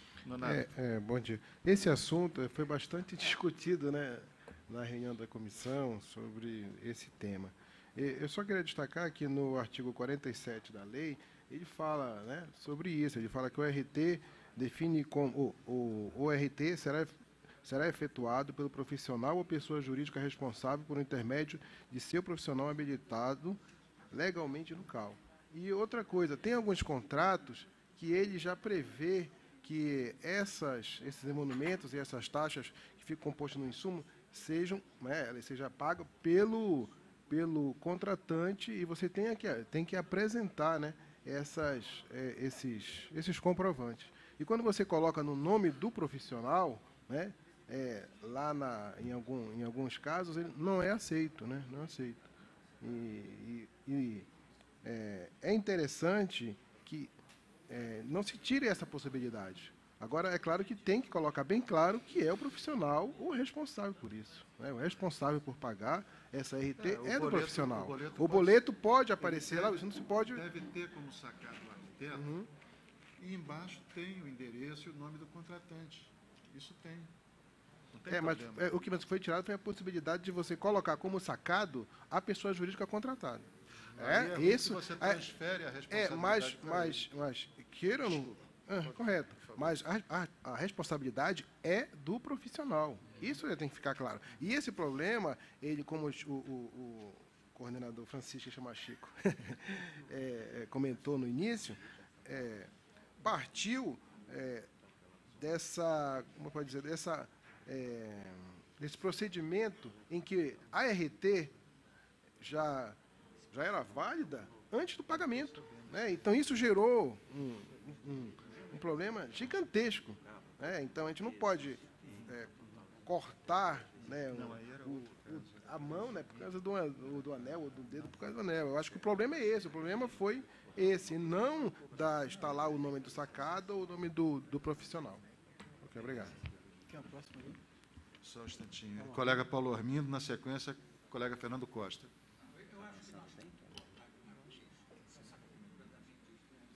Não está dando para ouvir, não ligado, Paulo? Fala mais. É porque tá fraco. Tá baixo, aí ele vai aumentar. Sim, eu vou pedir para anotar o teu nome. Bom, eu acho que nós temos que cortar de uma vez com essa cultura da mendicância e da informalidade do exercício profissional do arquiteto. Não é possível se imaginar e se discutir fragmentação de salário mínimo profissional, ou recebimento de RT, ou não pagamento de, de de, de taxas profissionais, porque eu acho que em nenhum caso, isso o profissional tem que assumir isso. O médico, o advogado, qualquer um assume, e nós temos que assumir. Nós estamos saindo de uma, de uma situação de obscurantismo a que fomos levados depois do golpe de 64.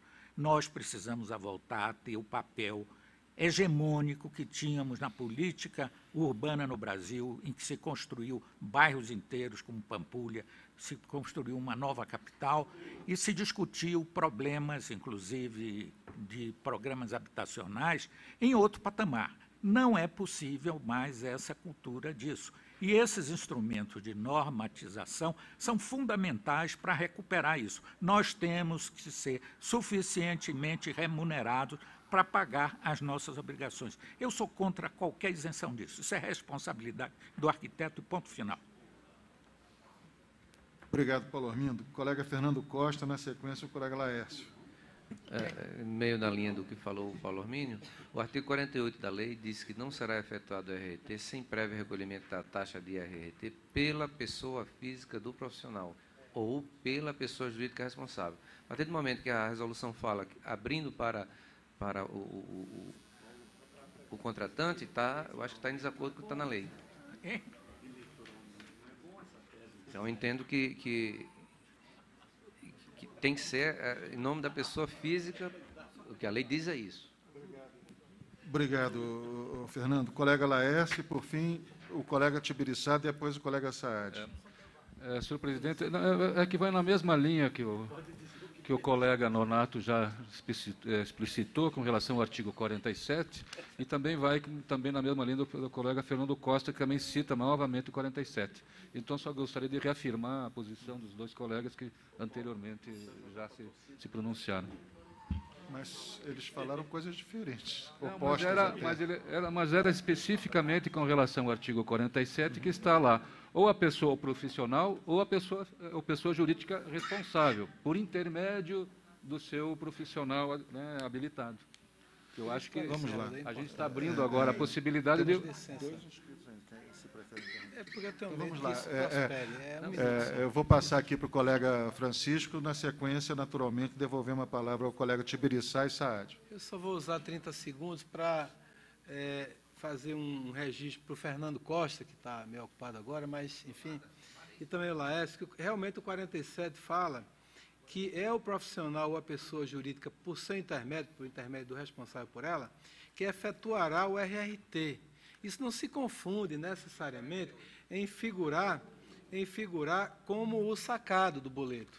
Mesmo no 40 não será efetuado a RT, é um prévio recolhimento da taxa RT pela pessoa física ou jurídica, responsável, o recolhimento é o ato de pagar.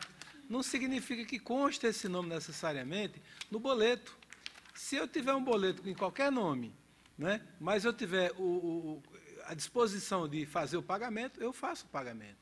Então, o que a resolução busca é viabilizar que isso aconteça, levando em conta a maior segurança para o sistema, mas também tentando atender aos casos específicos que já foram ditos aqui no começo, questões que envolvem prefeituras, corporações, que eh, demandam um tempo maior, há uma dificuldade de empenho. Então, assim, é, respeitando o que diz a lei, mas também buscando assegurar viabilidade e operacionalidade nesses casos bastante específicos. Então, por isso que essa proposta nova só permite que figure como é, sacado no boleto as pessoas jurídicas de direito público. Perfeito. Colega Tibiriçá, depois Saad, depois Napoleão.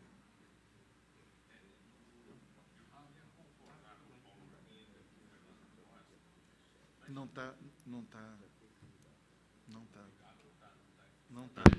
Agora foi. É, o, o, o nosso registro de responsabilidade técnica, antes de mais nada, ele é um instrumento de proteção ao arquiteto e de documentação do seu acervo.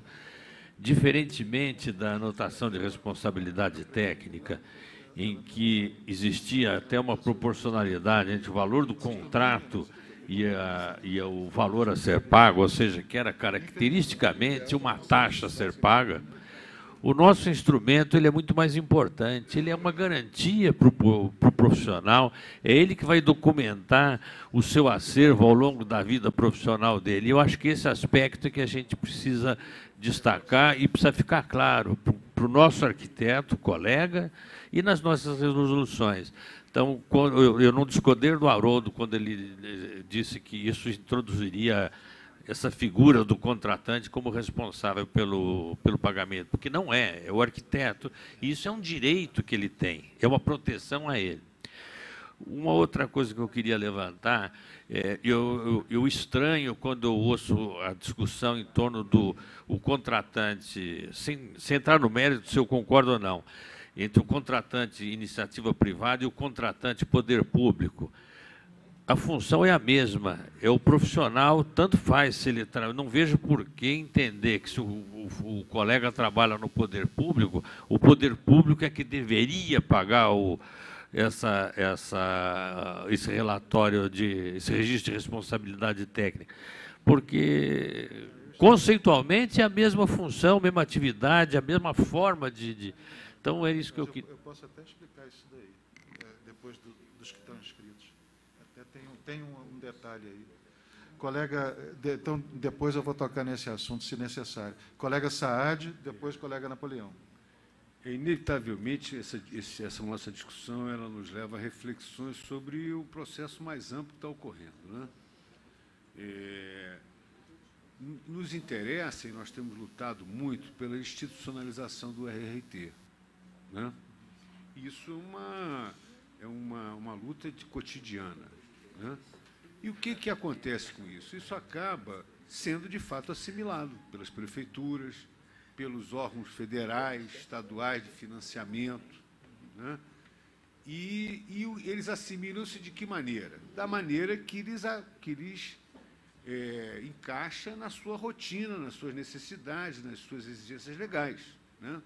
Então, por exemplo, a questão da, da regularização, no caso de muitas prefeituras, ela só pode ser feita se o profissional assinar a responsabilidade pela obra.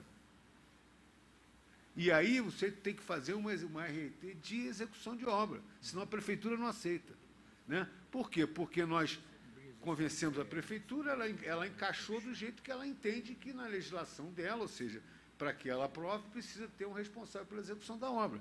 E aí, se a gente, aí, aí ela, ela já assimilou o RRT, então ela pede que aquele que está regularizando apresente um RRT de execução de obra. Né?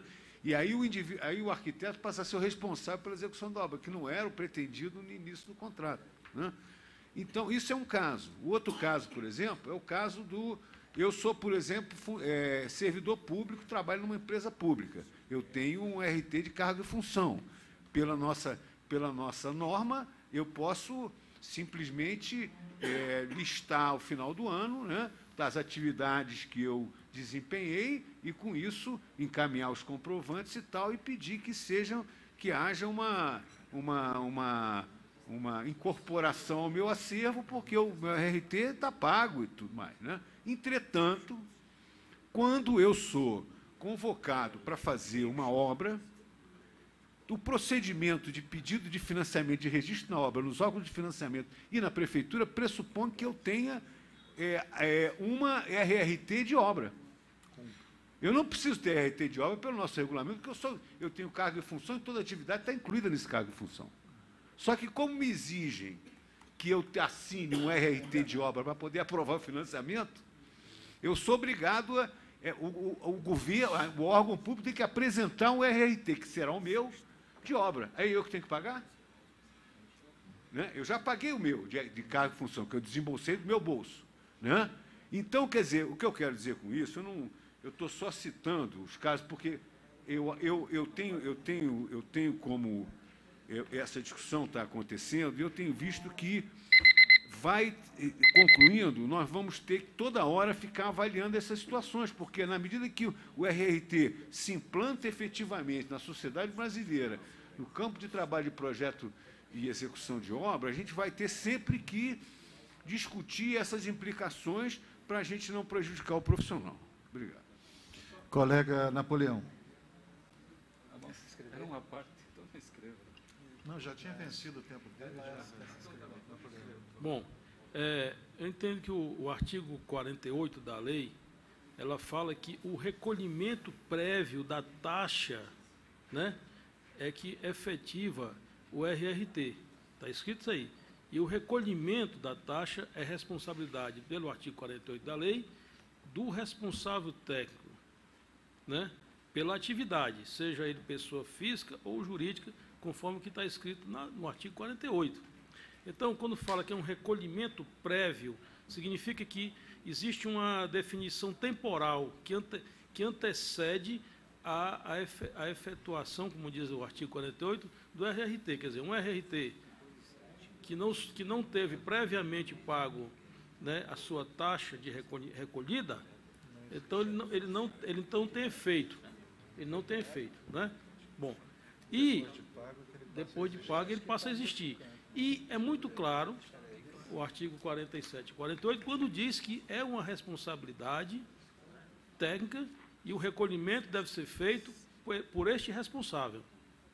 Então, se nós temos uma resolução que induz, né, numa, numa emissão de, um, de, um, de, um, de, uma, de uma taxa, né, de, um, de um formulário de taxa, né, que o pagante daquilo ali é uma outra pessoa física ou jurídica, no caso, uma pessoa jurídica interesse público, eu acho que esta impressão, este documento, está induzindo né, uma contradição com o que está escrito no artigo 48. Para mim, isso é muito claro. Mesmo que, é, se você for interpretar, não contradiga, digamos assim, mas induz. Induz a uma responsabilidade de pagamento de um outro ente que não seja, né, no caso, o responsável pela atividade técnica. Então, eu acho que isso não pode ser. Eu creio que é, essa solução não resolve o problema, né? porque, de certa forma, induz a uma interpretação enganosa do que está muito claro no artigo 48. É, é, eu, eu, queria, para explicar aqui ao Tibiriçá, né, porque tem, tem uma sutileza nesse negócio é, é, aí, por isso se inclui a pessoa jurídica de direito público. É, por exemplo, se é a sua empresa, Tibiriçá, se a sua, a sua empresa, pela lei, pode pagar. A sua empresa está registrada no CAL e ela pode pagar um RRT de, de, de um serviço que, vamos dizer, cuja responsabilidade técnica é sua, como pessoa física. Né? Muitas, é, muitas pessoas jurídicas de direito público, prefeituras e outras autarquias, enfim, é, projetam também. São, é, é, elas têm departamento de projeto e execução de obra. Né? É, por isso a exceção. Por isso a exceção. Né? Agora, claro que para o futuro o ideal era fazer o que, por exemplo, o Rio de Janeiro já conseguiu fazer, um acordo com a Prefeitura Municipal do Rio de Janeiro, para que, aliás, foi com o governo do Estado, para que o governo do Estado registre os seus órgãos no CAL, os órgãos que fazem projeto e obra. Só que essa é uma caminhada meio longa. Foi feito um acordo, não sei nem se está em que pé que está o cumprimento desse acordo, né? Mas então acontece exatamente isso, né? É Não, por daí essa exceção ali necessária, né? Mas é, é exatamente isso que eu estou colocando, exemplificando com o meu com o meu escritório, por exemplo. É o arquiteto que tem o projeto em que ele participa é que é o que precisa documentar que ele participou daquele projeto. A responsabilidade é dele feito o RRT de carga e função, no final do ano ele pode listar tudo e simplesmente incluir, não vai pagar mais nada. Entendeu? Sim. Mas eu vejo que existe um tratamento. Não, eu, eu vejo que existe um tratamento diferenciado para quem atua no poder público, em que a gente abre uma exceção, ou seja, a gente abre uma janela para reconhecer que a RRT é responsabilidade do contratante, não do profissional, que é um, um raciocínio diferente do que nós estamos aplicando ao, é, é, a lei permite que a pessoa jurídica de arquitetura e urbanismo né, pague. Isso a lei permite, embora o, o acervo é do, do profissional pessoa física. Mas a, pessoa jurídica de arquitetura e urbanismo pode pagar. No caso, as prefeituras, elas também fazem projetos, elas têm departamento de projeto, divisões de projeto né, e de execução. Elas têm. O acervo é do arquiteto que realizou mas a, a, empresa de arquitetura e urbanismo pode pagar. Eu acho que eu não estou conseguindo ajudar, então eu vou. Risco não, que eu falei. Vamos lá. É, é, é, é, eu, vou, eu passo aqui para o colega Francisco e, na sequência, os colegas Laércio e Anderson. Eu vou pedir para o Rodrigo voltar aqui para o artigo 6 que ajuda a, evitar a, a, o equívoco, Napoleão, que, que poderia parecer que a gente está tirando do arquiteto a responsabilidade que lhe é atribuída pela lei. Voltando, tanto o artigo 47 como 48 da lei atribui ao arquiteto, no 47, é, a, o papel de fazer o registro e no artigo 48 a responsabilidade de recolher a taxa. O recolhimento da taxa é um ato que tem que ser interpretado aqui por nós como é que isso se materializa. Na minha interpretação, recolher a taxa é fazer o pagamento. Isso não implica necessariamente que o nome que consta como sacado seja o dele. Ele é o responsável pelo pagamento, como diz ali o artigo 6 que abre o capítulo 2 em conformidade com o artigo 47, as providências relativas ao RT são da responsabilidade do arquiteto urbanista. É o que diz aqui. Não tira do arquiteto urbanista essa responsabilidade. Então, apenas permite, para atender determinadas situações operacionais, que o nome do sacado seja outro. Porque, como disse Haroldo, se você tem um departamento de projeto de obra na prefeitura e conste do, do, do, do, boleto o nome do arquiteto, e a prefeitura não pode fazer aquele pagamento porque aquilo não seria aceito pelo Tribunal de Contas, vai o arquiteto pagar do seu bolso? Projetos e obras da prefeitura, ele ganha o salário dele, mas não para pagar o RRT. Ele ganha o salário dele, mas não, não, não ganha os honorários. Ele paga o de cargo e função, mas não os RRT que são necessários para liberar obras. Então, Nesse caso, é uma questão operacional que nós temos. Mais do que isso.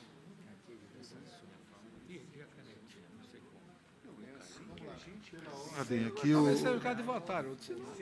pela ordem, os colegas Laércio e em seguida o colega Anderson.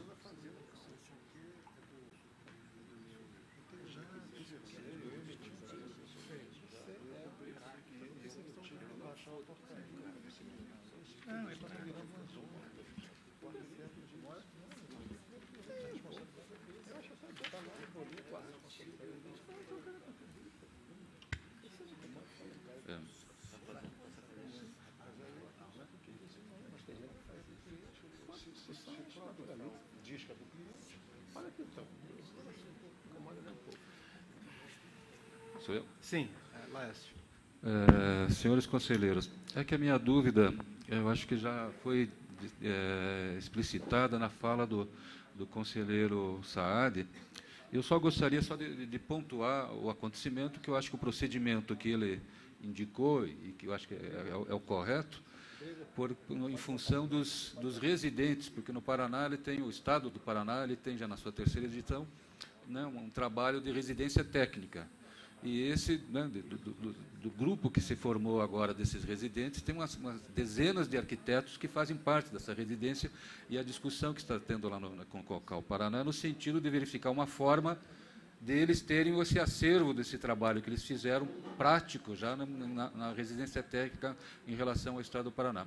Mas eu acho que a fórmula, que, né, a, a, o formato que o conselheiro Saad é, comentou, e acho que o presidente também já confirmou, que seria de cargo-função, isso eles têm, o cargo e função, e depois as obras, né, enfim, os trabalhos de fiscalização, a série de trabalhos que eles estão fazendo como residentes, aí entra numa, num, né, num outro sentido, né, de, mas desde que o órgão público seja cadastrado local. Ele tem que fazer para depois, eventual, eventualmente, expedir certidões desse trabalho, né, desse trabalho que foi executado profissionalmente, que são todos eles formados, né, são todos eles arquitetos formados, e, então, acho que esse encaminhamento, acho que me sinto contemplado nessa, nessa, na fala já do, do, do conselheiro Saad e do, e do presidente. Obrigado, Lécio. Colega Anderson. Colegas, é, nós estamos num problema aqui que parece que o conselheiro Chico está tentando uma saída.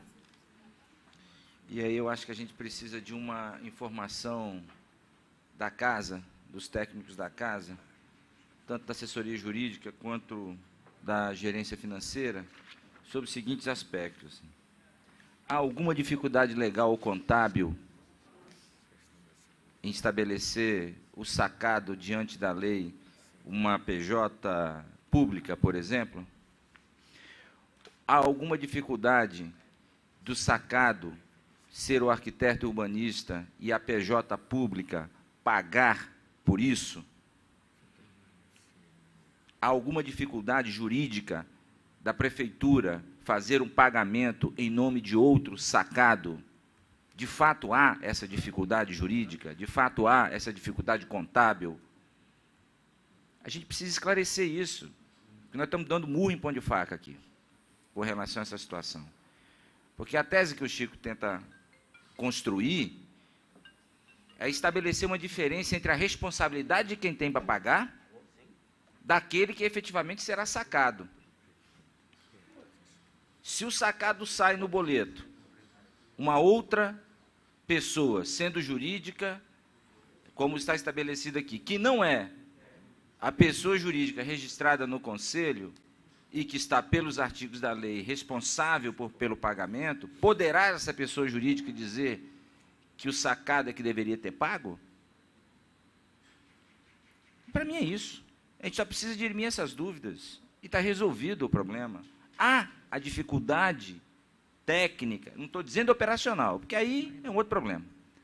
Há dificuldade técnica do ponto de vista da contabilidade pública. Há dificuldade técnica do ponto de vista jurídico de uma PJ pública pagar em nome de outrem uma taxa em nome de outrem, sendo caracterizado que essa taxa é estabelecida a partir de um documento necessário para registro de um serviço do qual ela está prestando. Se não há, não há é o arquiteto sacado. Fazem isso a vida inteira. Exatamente, nos tem chegado muitos relatos de arquitetos que atuam em prefeitura dizendo isso, que é assim. Por isso que nós estamos tentando buscar essa possibilidade. Está pacificado, pelo que tudo que nós discutimos, está pacificado que a responsabilidade da taxa é do arquiteto urbanista ou da pessoa jurídica de arquitetura e urbanismo. Ponto. Até porque até aí está escrito na lei. Né? Então, esses dois pontos estão tá pacificados. O que estava se discutindo aqui, o que está se discutindo, e que me parece que esse, essa redação resolve os, as reclamações que nós temos recebido, é o caso do arquiteto que é funcionário de prefeitura. Né? Quando ele é, é funcionário de uma, de uma, pessoa jurídica de direito privado é, registrada no CAL, já está resolvido, a lei já resolveu. Agora, ocorre que as prefeituras, à exceção, acabo de saber, lá de Rondônia, né, de, de Roraima, né, é, é, que já se registrou no CAL e tudo, então aí também nem se discute. Né? O que se discute é a imensa maioria das prefeituras que não tem registro no CAL. Né? E que a gente não pode obrigar o arquiteto a ter que ficar pagando todo o projeto e toda a obra da prefeitura. Né? Ele tem que pagar o RRT de, de, de carga e função, isso sim é obrigação dele, arquiteto, e depois ele, ele acerva lá né, o, o, o, trabalho que ele fez ao longo do ano, como o Saad já explicou. Então, a única dúvida que tinha, a única dúvida que remanescia aqui dessa discussão é por que essa exceção para as prefeituras? Por quê? E é o que, nós, é o que eu tentei explicar, mas creio que não consegui aqui, não, não, não consegui esclarecer. Mas, é, não, é só, eu acho que o esclarecimento é claro, é o prazo que as prefeituras têm para fazer o pagamento. É, não, mas isso aí é outra coisa, isso aí é outro, é outro assunto que vai ser tratado é, em outro. No formulário. Em outro, em outro Bom. Então, presidente, eu acho que está tá claro, discutimos bastante o assunto, não é? Só dar uma colaboração na redação, Chico, eu acho que. Então, eu, eu te passo já. já a, porque o Tibiriçá estava inscrito, tá. então, então vou o Tibiriçá e seguido o Fernando, então. É, se não for possível, então vamos, vamos votar na sequência. Quando também. eu perguntei no, na primeira intervenção se, a, o, se o nosso sistema era necessário que o pagamento estivesse vinculado ao objeto do, do registro de responsabilidade técnica ou a quem paga, é porque eu acho que quem paga não deveria ser problema nosso. A responsabilidade ao pagamento é o profissional e ele precisa entender, e nós precisamos fazer com que ele entenda que isso é uma proteção aos direitos dele. Se ele trabalha numa prefeitura ou se ele trabalha numa empresa privada, o relacionamento é o mesmo. Nós estamos entrando num detalhe devido a uma dificuldade. Por exemplo, é importante que ele pague ou é importante que a gente saiba quem ele pagou? Ou seja, como é que funciona o sistema de cobrança? Ah, qualquer empresa paga as despesas, não importa se foi o, o, o, o titular da empresa, se foi a faxineira ou o office boy, o importante para o credor é que a, a, a, duplicata tenha sido paga no vencimento. Eu não, realmente eu não consigo compreender, porque nós temos que entrar nesse detalhe. qual é a, a necessidade, e aí nós estamos entrando nesse aspecto que, embora eu tenha toda a boa vontade em querer compreender essa argumentação ah, em relação às dificuldades dos colegas do, do, que trabalham no poder público, eu acho que conceitualmente nós não podemos estabelecer essa diferença, porque nós também estamos num detalhe que não é atribuição nossa. Tiberiçá, eu acho que não só é como necessário, como é obrigatório que a gente faça isso. Porque a gente está tratando da operacionalidade do RRT, que inclui o pagamento. Nós temos que disciplinar como é que esse pagamento deve ser feito. E uma das coisas é o nome que consta como sacado no boleto. Então, só para terminar essa exibição. Então, o que é que acontece? Se nós não decidirmos isso, que poderá constar um nome ou outro no boleto, quem que vai definir? Ficará uma lacuna. Nós estamos regulamentando que a lei define sobre isso. Então, é fundamental que o CAL defina se vai ser sempre o arquiteto que consta como sacado no boleto, ou se pode, nesses casos excepcionalíssimos, por questões operacionais, poder ser, então, a pessoa jurídica de direito público. É isso que a gente tem que fazer. Então, não vejo como evitar essa decisão. Colega Fernando Costa, na sequência, o colega Gilmar. É, tentando tentando é, é, até concordar com essa exceção única do direito né, de funcionário público,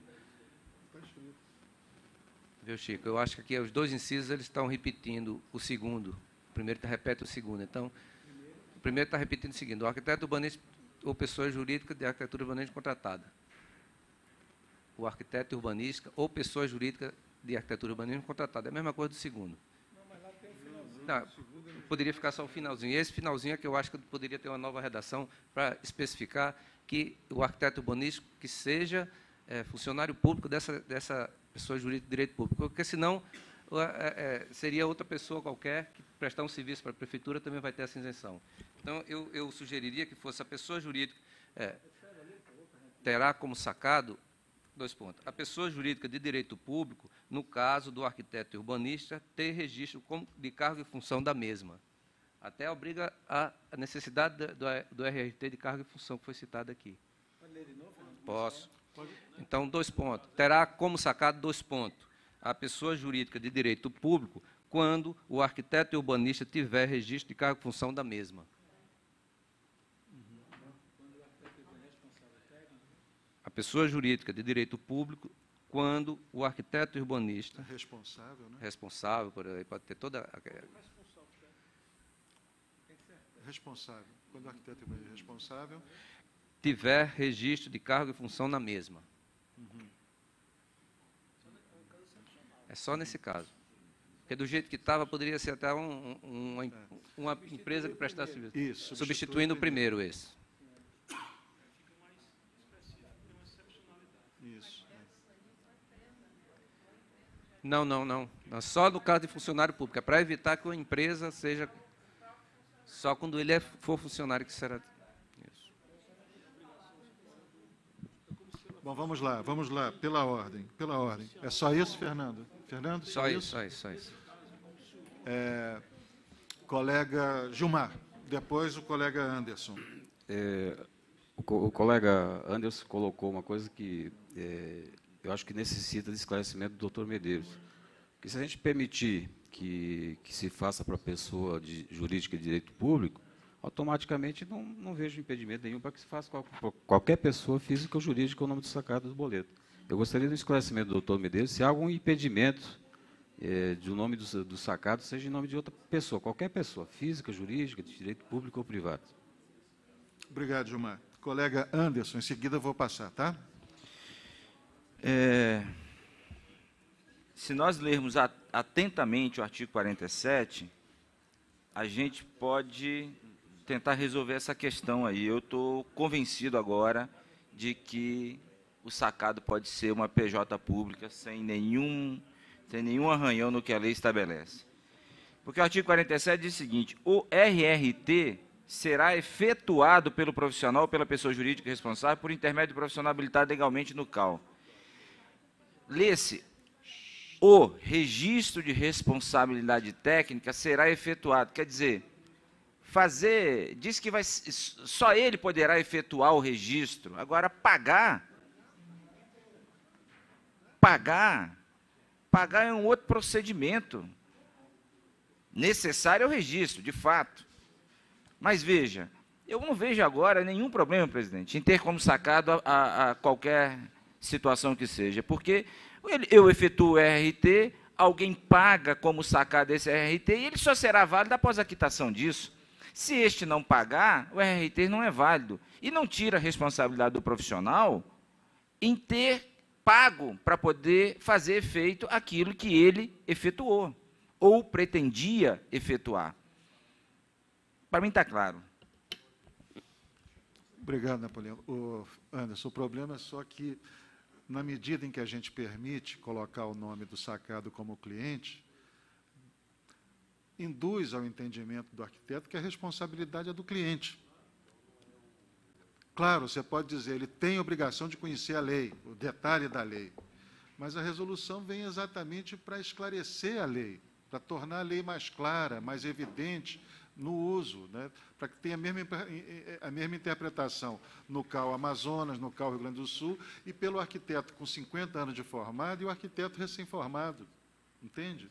Na medida em que a gente permite que o boleto saia com o nome de outro responsável, o arquiteto passa a entender, se ele não tem domínio sobre a lei, ele passa a entender que é o cliente que tem que pagar. Se ele não pagar, se tiver alguma multa, como a lei diz, de 300%, deve ir para o para o sacado e não para ele, arquiteto. É, é o problema. Escreve isso no formulário de RT. É, vamos lá, vamos lá. É, doutor Medeiros, né, conforme solicitado aqui né, pelo colega Gilmar e pelo, antes pelo colega Anderson hum. também, é, pode dar sua opinião, seu entendimento sobre o assunto? Microfone ali. Microfone.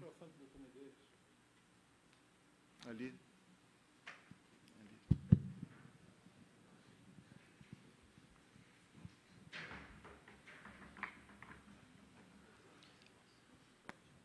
Bom dia, presidente. Bom dia, senhoras e senhores conselheiros. É, o registro de responsabilidade técnica é um serviço prestado pelo CAL, que vem acompanhado é, de uma taxa do mesmo nome, é, quem paga a, a taxa é, correspondente ao, ao, RRT é quem demanda o serviço. Tá? Quem demanda o serviço prestado, no caso, quem é, que é demandado é o registro. Tá? Se o profissional ou uma pessoa jurídica de arquitetura e urbanismo demanda esse registro, é ela que é a, o profissional ou a pessoa jurídica o responsável pelo pagamento da taxa. Tá? A confusão se dá com relação aos profissionais que são empregados ou servidores públicos. Tá?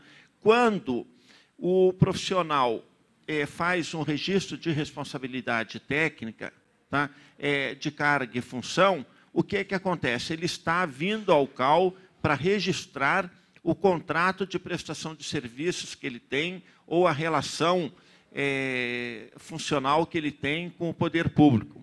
Tá? Então, quem demanda o serviço, quem demanda o registro é o profissional.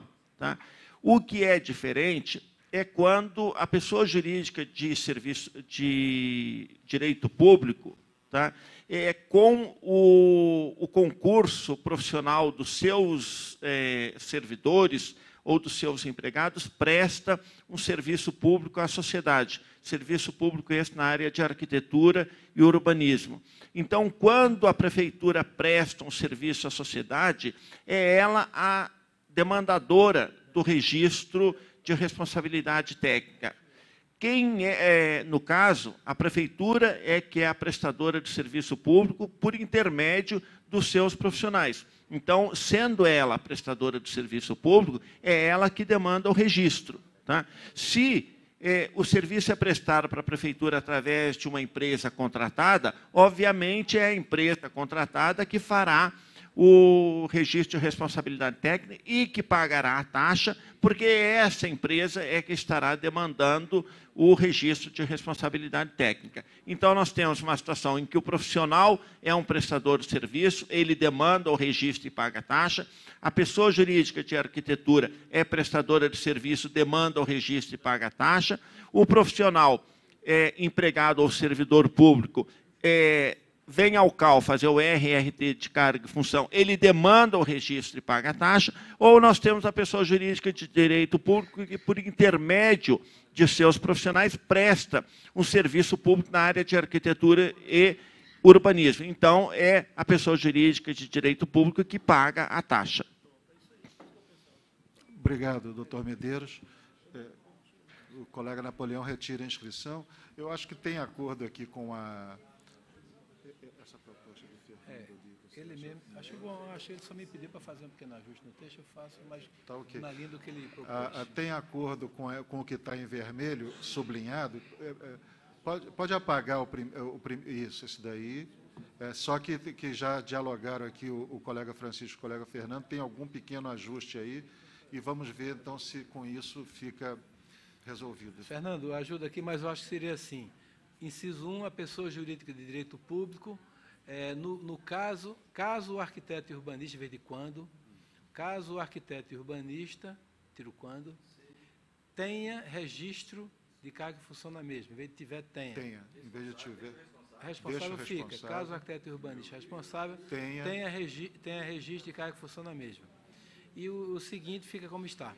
Então, nós concordamos. Então, pronto, tem, tem acordo nisso daí que eu acho que já resolve a coisa de modo mais objetivo, amplo e, e tudo. Os colegas concordam, os colegas conselheiros concordam com, com essa solução dada? Tudo bem? Tudo bem? Então, parabéns.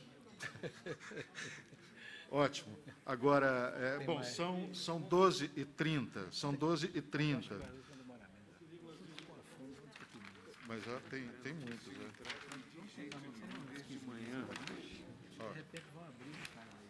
Vamos terminar o capítulo? Então vamos lá, então vamos lá, vamos mais 15 minutos aqui. Vamos lá.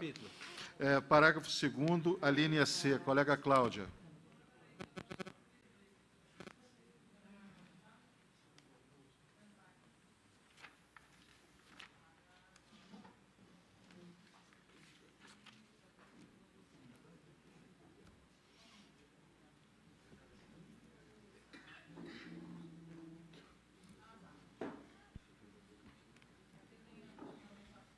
Por isso. É, nesse aqui, ele tem que contemplar, para caberá recolhimento de uma única taxa, tem que rever, desculpa, tem que rever a redação com base naquilo que foi é, colocado no no inciso terceiro do artigo 9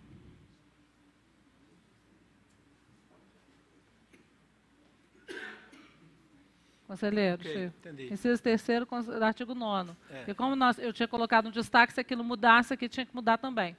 É, eu creio que bastaria ficar assim, Cláudia. É, que tá, o, o, o, o caput do parágrafo fala em caberá o recolhimento de única taxa RT, bastaria ficar assim no caso RT mínimo, colega Cláudia. Que aí não restringe as atividades. Ah. Ok? Ok. No caso do RT mínimo. Então, Rodrigo, pode cortar tudo até o RT, até um único endereço. Cortar o quê? É, houve uma ampliação por conta da proposta que nós fizemos. Rodrigo? Não consigo entrar aqui. Rodrigo? Sim, está aí. Caberá uma, uma única taxa de RRT no caso de RRT mínimo que já diz lá atrás o que é, é um RT mínimo. Ok? Uhum. Rodrigo, tem que escrever, Rodrigo. Mas já está escrito ali, Haroldo, no ah, caso de RT mínimo. Caso... Basta ficar aquilo ali. Ah, tá, tá, tá, é. tá, tá, tá, tá, tá. tá ótimo, Desculpa, assim. Rodrigo. Eu, Zé Mauro Novo. Vamos lá. Artigo. Eh, bom, termina o capítulo, né? Termina o capítulo segundo. Nós estamos na página 5, são 11. Bem, suspendemos agora? Tudo bem. Então vamos suspender para o almoço. Agora, eu, eu, eu gostaria, viu, Simão? Colega Simão, é, eu gostaria que o colega Simão e o colega Chico, Francisco, conversassem aí, é, porque é o seguinte: houve uma inversão de pauta né, e colocamos esse isso que nós estamos discutindo agora, colocamos em primeiro lugar. Né? Eu Agora, acontece que o que estava em primeiro lugar tem obrigação de ser aprovado nessa plenária. Se não for, cria um, um problema de, administrativo para o CAL Brasil. Né?